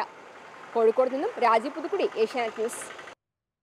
അപ്പോൾ നമസ്തേ കേരളത്തിന്റെ സമയം ഇവിടെ അവസാനിക്കുകയാണ്. നമുക്ക് വീണ്ടും നാളെ കാണാം. ഇനി പ്രാദേശിക വാർത്തകൾക്കുള്ള സമയമാണ്. ഇടവേളയ്ക്ക് ശേഷം ചുറ്റുവട്ടവുമായി ജൂലിയറ്റ് സബാസ്റ്റിനെത്തും നമസ്കാരം.